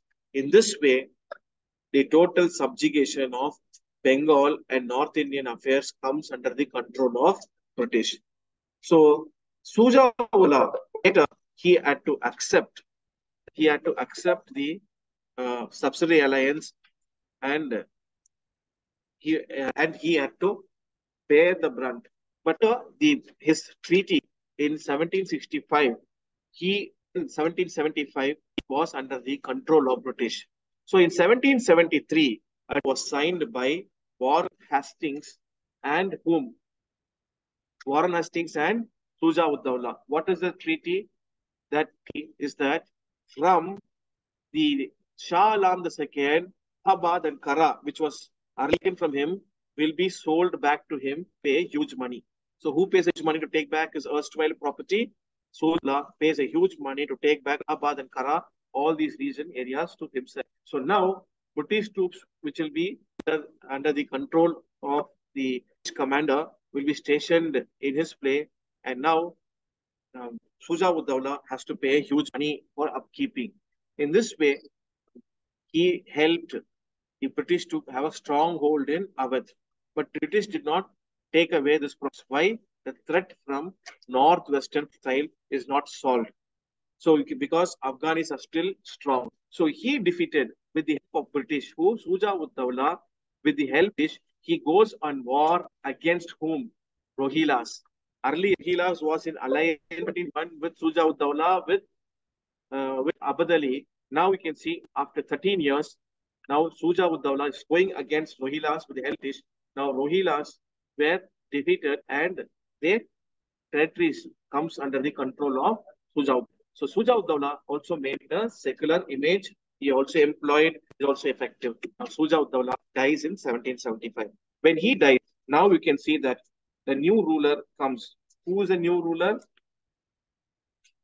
New ruler is Asaf Uddawla.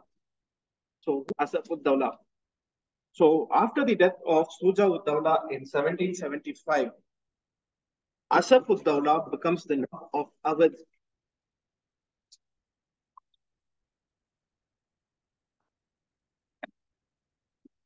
This Asaf Uddawla is a person who transfers the capital, the uh, Nawab of Awadh, which was in Faizabad, he transfers that Awadh to, to Lucknow.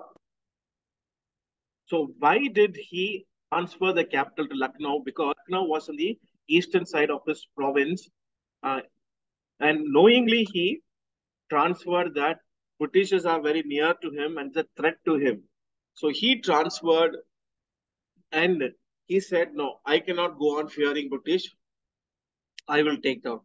So Asafud now slowly stabilizes himself as the Nawab and he is the founder of the Lucknow culture or called as Awadhi culture. What he did do? Despite the threat, he concentrated his energies, Asafuddawla's energies, in cultural pursuits, as well as he built uh, around Lucknow Court a vibrant cultural arena. That means what? He gave more importance for the building up the lives of people, the culture, the art, the tradition, the cuisine, the music and everything, he started to improve. So Lucknow soon started to uh, uh, rise and it became a distinct Lucknow culture or Awadhi culture. So Lucknow soon rivaled Delhi. So in its patronage of arts and literature. So Lucknow became the second home for sensitive men of letters because now slowly Delhi loses its prominence. All the literatures, uh, uh, men of arts and literature left Delhi, despising, lamenting that their Delhi has lost its preeminence. And the, now they come to Awadh and they start to what you call restart the tradition. So when they restarted the tradition, you can see that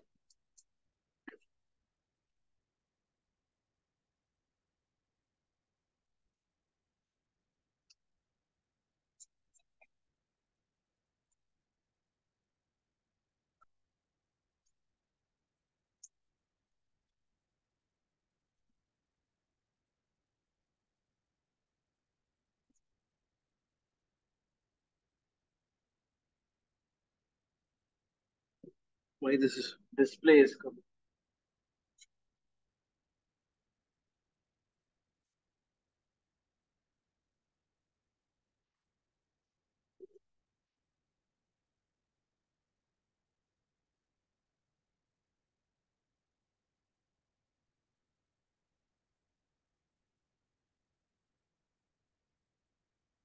Okay.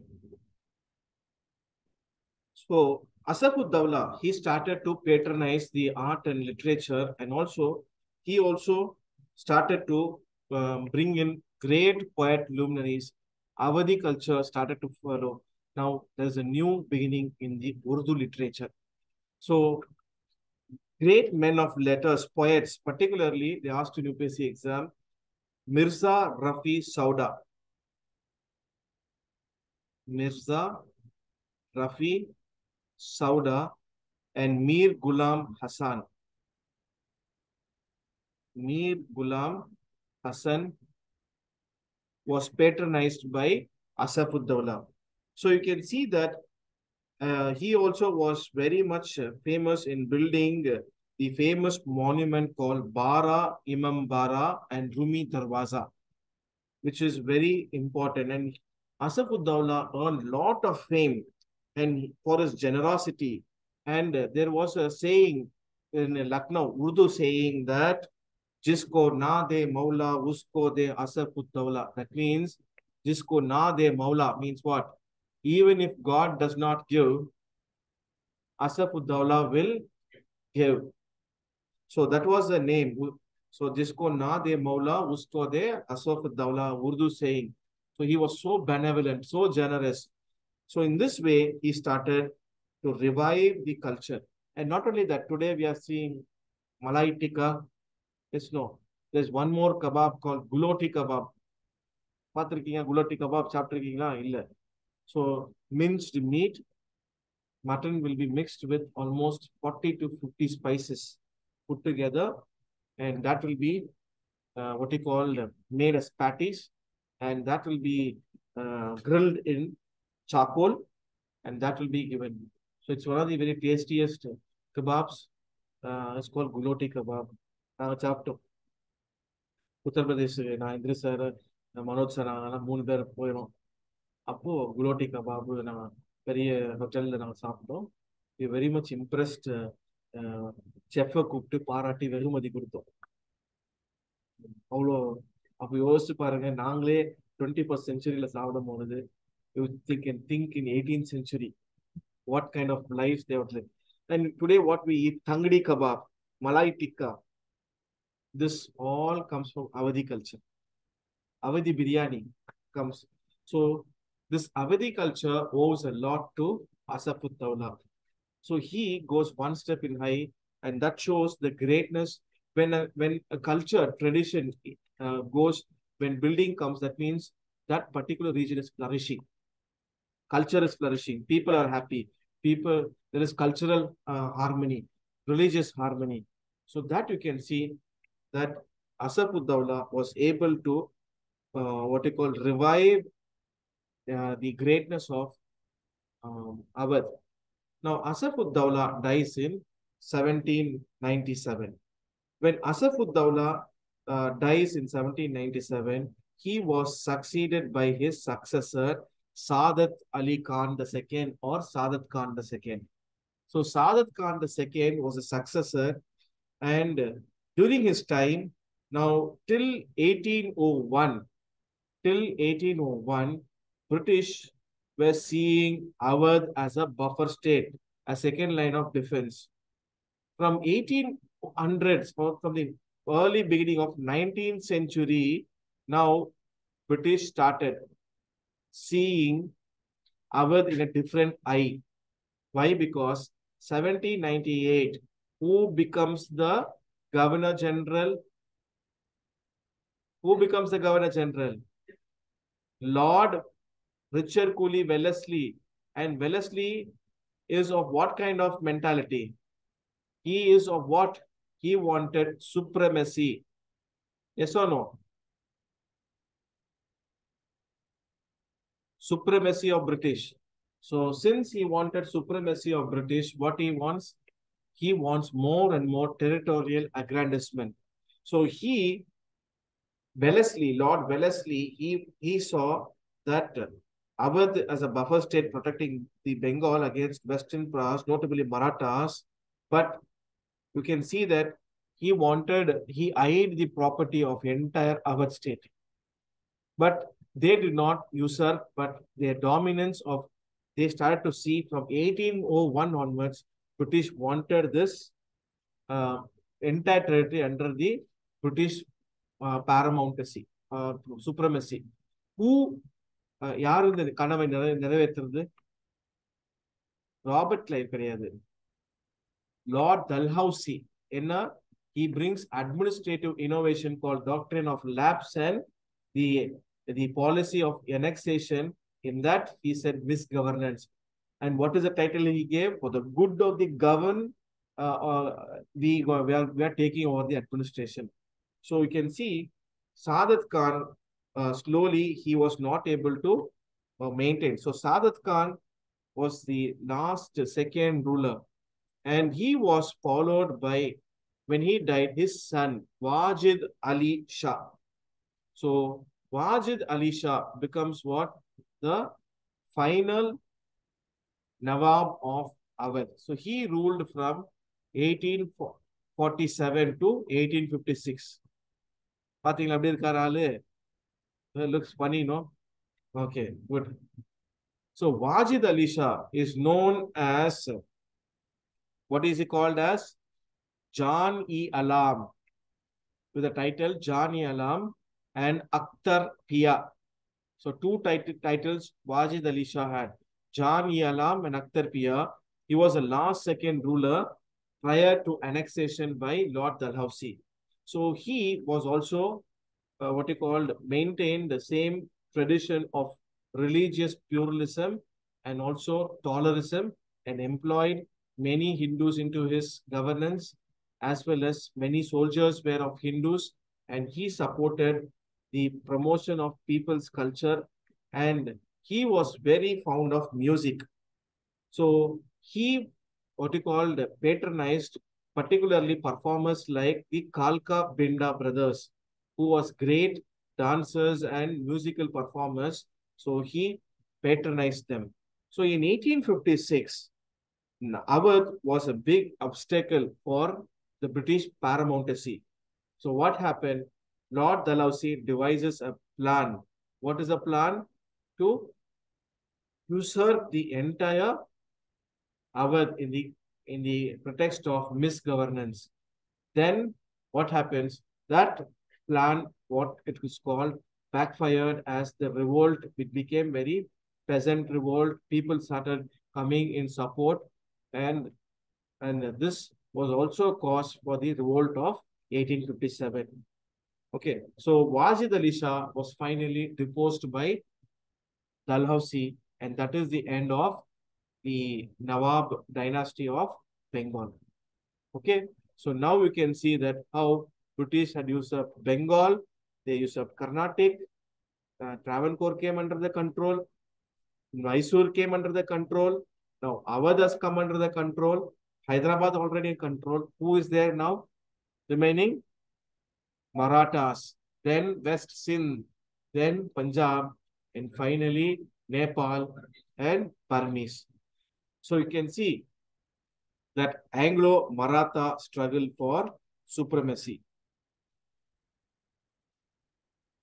So Anglo-Maratha wars is also part of what? The policy of ring fence. What do you mean by policy of ring fence? To safeguard British Indian Empire, they create what a buffer state so that this proper this British Indian territory, they'll have one border that is called first line of defense. They'll put their troops and then they'll make another buffer state and they will put in that buffer state's border as second line defense. Why?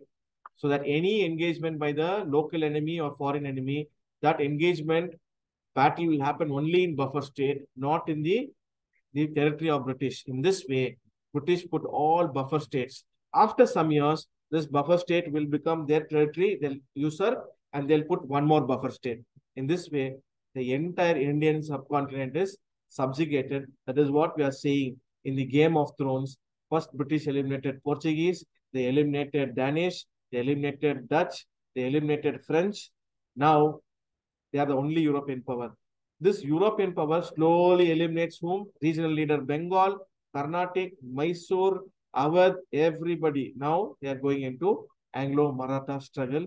So what is the, whether uh, Peshwas win, Maratha Sardars win is what we are going to see in the Anglo-Maratha wars. So you can see Maratha polity. Maratha was founded, see I will do very little, okay, in the idla, but I will give notes has already been sent. அதில் பார்த்துருப்பீங்க சிவாஜி ஒவ்வொரு பேஷ்வாவுடையும் இதுவும் இருக்கு so you can see Shivaji Chhatrapati Shivaji Bhonsle Maharaja is the founder of the Maratha empire So he has two sons. One was Sambhaji Bonsle Chhatrapati, Raja Ram Bonsle Chhatrapati. Shivaji rose in and he is contemporary of Emperor Aurangzeb. so Shivaji, the founder of the Maratha polity and empire, he had to sign a, uh treaty and treaty of Purandar in 7, 1665. Later, in 1666, Shivaji was invited to the court of Aurangzeb. And when he, when Aurangzeb uh, had saw uh, Shivaji entering his court, Shivaji was arrested and put in prison. Ajit Singh of Mewar, who was there under Aurangzeb's administration, helps the escape of who? Uh, Ma- Mans, uh, uh, sorry, sir, not Ajit Singh. Jai Singh, Savai Maharaja Jai Singh, who is under the administration of Aurangzeb, helps the escape of Shivaji to back to Maratha land. So you can see once Shivaji goes to Maratha land, he ferociously fights. So in the battle of 1689, Sambhaji Bhonsle Chhatrapati was killed and Aurangzeb chops him into pieces. And this Sambhaji Bhonsle's body was finally collected and wrapped by a Mahar caste Dalit leader. And they are the one who gives that Chhatrapati, that high caste Kshatriya clan, by a untouchable, gives him a uh, what he called conducts the final rites, rituals. Keep this in mind. That will come back in the lower caste movements, particularly in the Anglo-Maratha War 3. So you can see the Shivaji's lineage was massacred. So Sambhaji Chhatrapati Bhonsle was his wife, widow wife Yesu Bhai and his son Shahu was taken as prisoner and kept in Delhi from 1689 to 1707. So you can see after 19 years in prison, when Aurangzeb died, his son, successor Shah Alam I, releases Shahu. And that becomes what? A big problem in Maratha politics. Why? Shahu had to encounter the, the kingdom of Shivaji ruling. Who's ruling in Satara? Shivaji's second son, Raja Ram Bhonsle Chhatrapati, his widowed wife, uh, Queen Mother Tarabai is ruling as a regent, and his cousin, Shahu's cousin, Shivaji the second, the minor cousin, he is the, the uh, crown. So Shivaji, uh, uh, first eldest son's son, has a right to succeed, is what the argument put and Shahu wanted to sit on the throne of Shivaji. So when Shahu comes to Maratha land, he was in, in, in war with his cousin Shivaji II and against his auntie, the Queen Mother Regent Tarabai. So when civil war starts, you can see that Balaji Vishwanatha, the Peshwa, who is the Prime Minister, Ashtanga Pradhan, the Prime Minister, he supports this war against second daughter-in-law of Shivaji, the Queen Regent, against uh, whom? Against Shahu she is fighting. So Balaji Vishwanath helps. When Balaji Vishwanatha helps, you can see that Shahu wants a divisive victory and he now crowned as the, the Kshatriya Chhatrapati of Satara kingdom. And slowly, Balaji Vishwanath, who is the very, very powerful, uh, what he called, uh, in five years' time, uh, in the following year, in 1712, he assumes the, the what he called, he becomes a de facto ruler. He makes Shahu a puppet. And now the rule of Peshwa starts from 1713 to 1818, 105 year rule of Peshwas happened. During this time, these Peshwas were from which community? Peshwas. They are from the Chitpavan Brahmin community. Who are this Chitpavan Brahmin community?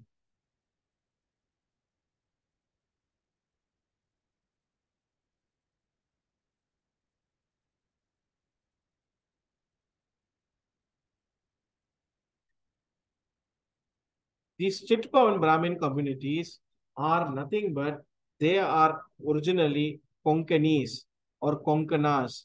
Their mother tongue is not Marathi, their mother tongue is Konkani. So they are a clan called Bhat, but Konkani Brahmins. So they, these uh, Konkani Chitpavan Brahmins are also called as Gaud Saraswat Brahmins. Gaud, Saraswat, Brahmins, and also called as Konkanastha Brahmins. Konkanastha Brahmins.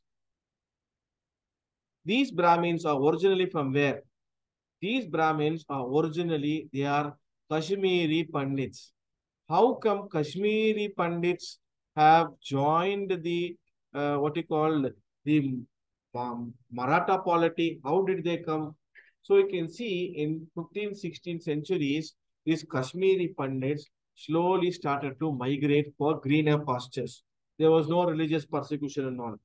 So they wanted to sit. So many Kashmiri Pandits, they enter the Punjab plains and enter the Rajasthan, Gujarat area and finally enter the Marathwada land. And they come and these people are into banking, they are into administration and they are into the priestly rituals. And when they come to Konkan, they settle down in the Konkan area of the, the coastal area of Maharashtra and Goa. So they started to uh, what they called slowly yield lot of power. So they became very much interested into sit on the ruling power and enjoy the ruling benefits. So you can see that a Kshatriya, a Brahmana cannot don the role of Kshatriya and take sword in his hand and have blood in his hand. But here, the Konkani Brahmins, they are very much against this Manu Dharma. They're changing colors, they are twisting their entire caste for their own personal glorification. They becoming Kshatriya come, administrator come, Brahmana. So this was a very dangerous combination. So slowly the Kshatriyas, the Maratha Sardars, particularly the Bhonsle clan, now is deprived of governance. the lineage of Shivaji Maharaj is kept subjugated. Now the rule of Chitpavan Brahmins come. And slowly the Brahmins, they became the member of Shivaji's Ashtanga Pradhans, eight council of eight ministers.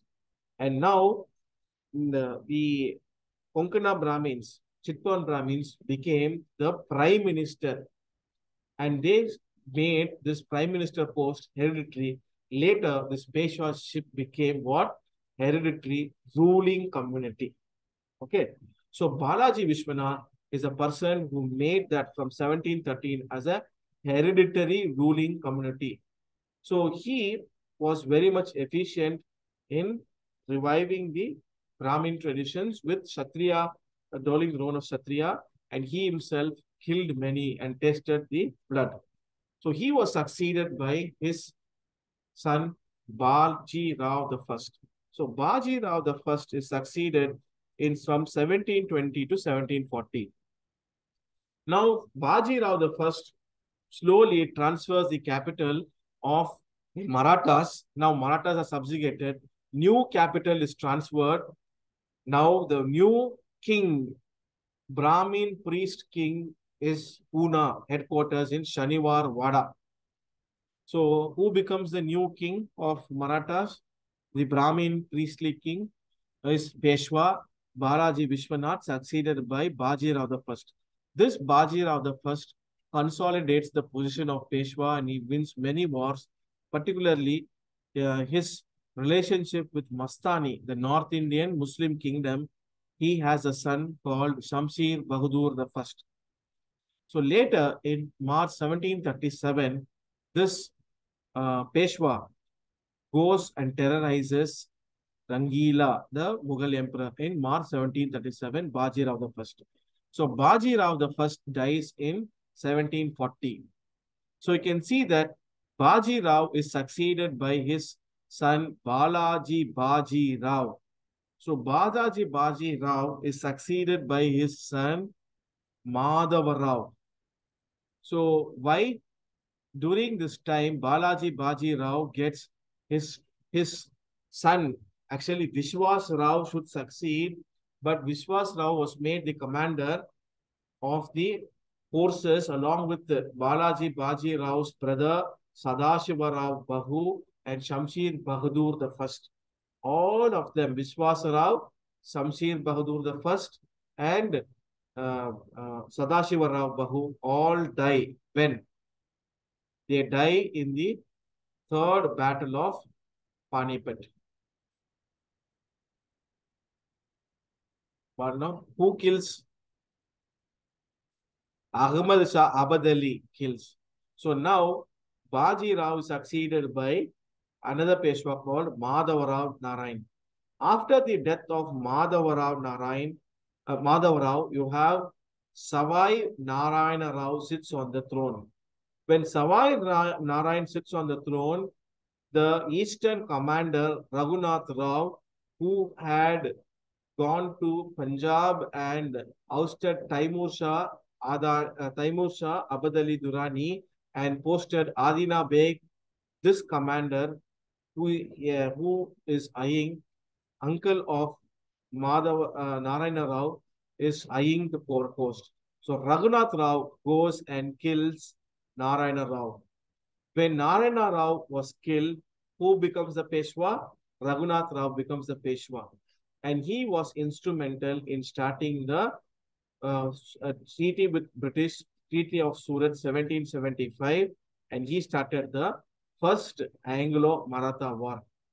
Later, now once Raghunath Rao was Peshwa, the powerful Maratha Sardar, the Chitpavan Brahmin leader, Nana Fadnavis, the finance minister, now dons the role of prime minister and he becomes very powerful. So Nana Fadnavis is a Peshwa. He's also Chitpavan Brahmin.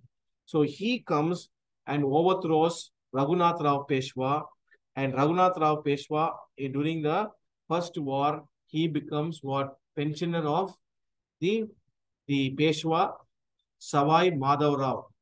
So once uh, Raghunath Rao was overthrown by the powerful Maratha Sardar Chitpavan Brahmin leader Nana Fadnavis, he installs the slain son Savai Madhava Rao. So Savai Madhava Rao Narayan, uh, he, uh, what he called, he sits on the throne, but who's the real power?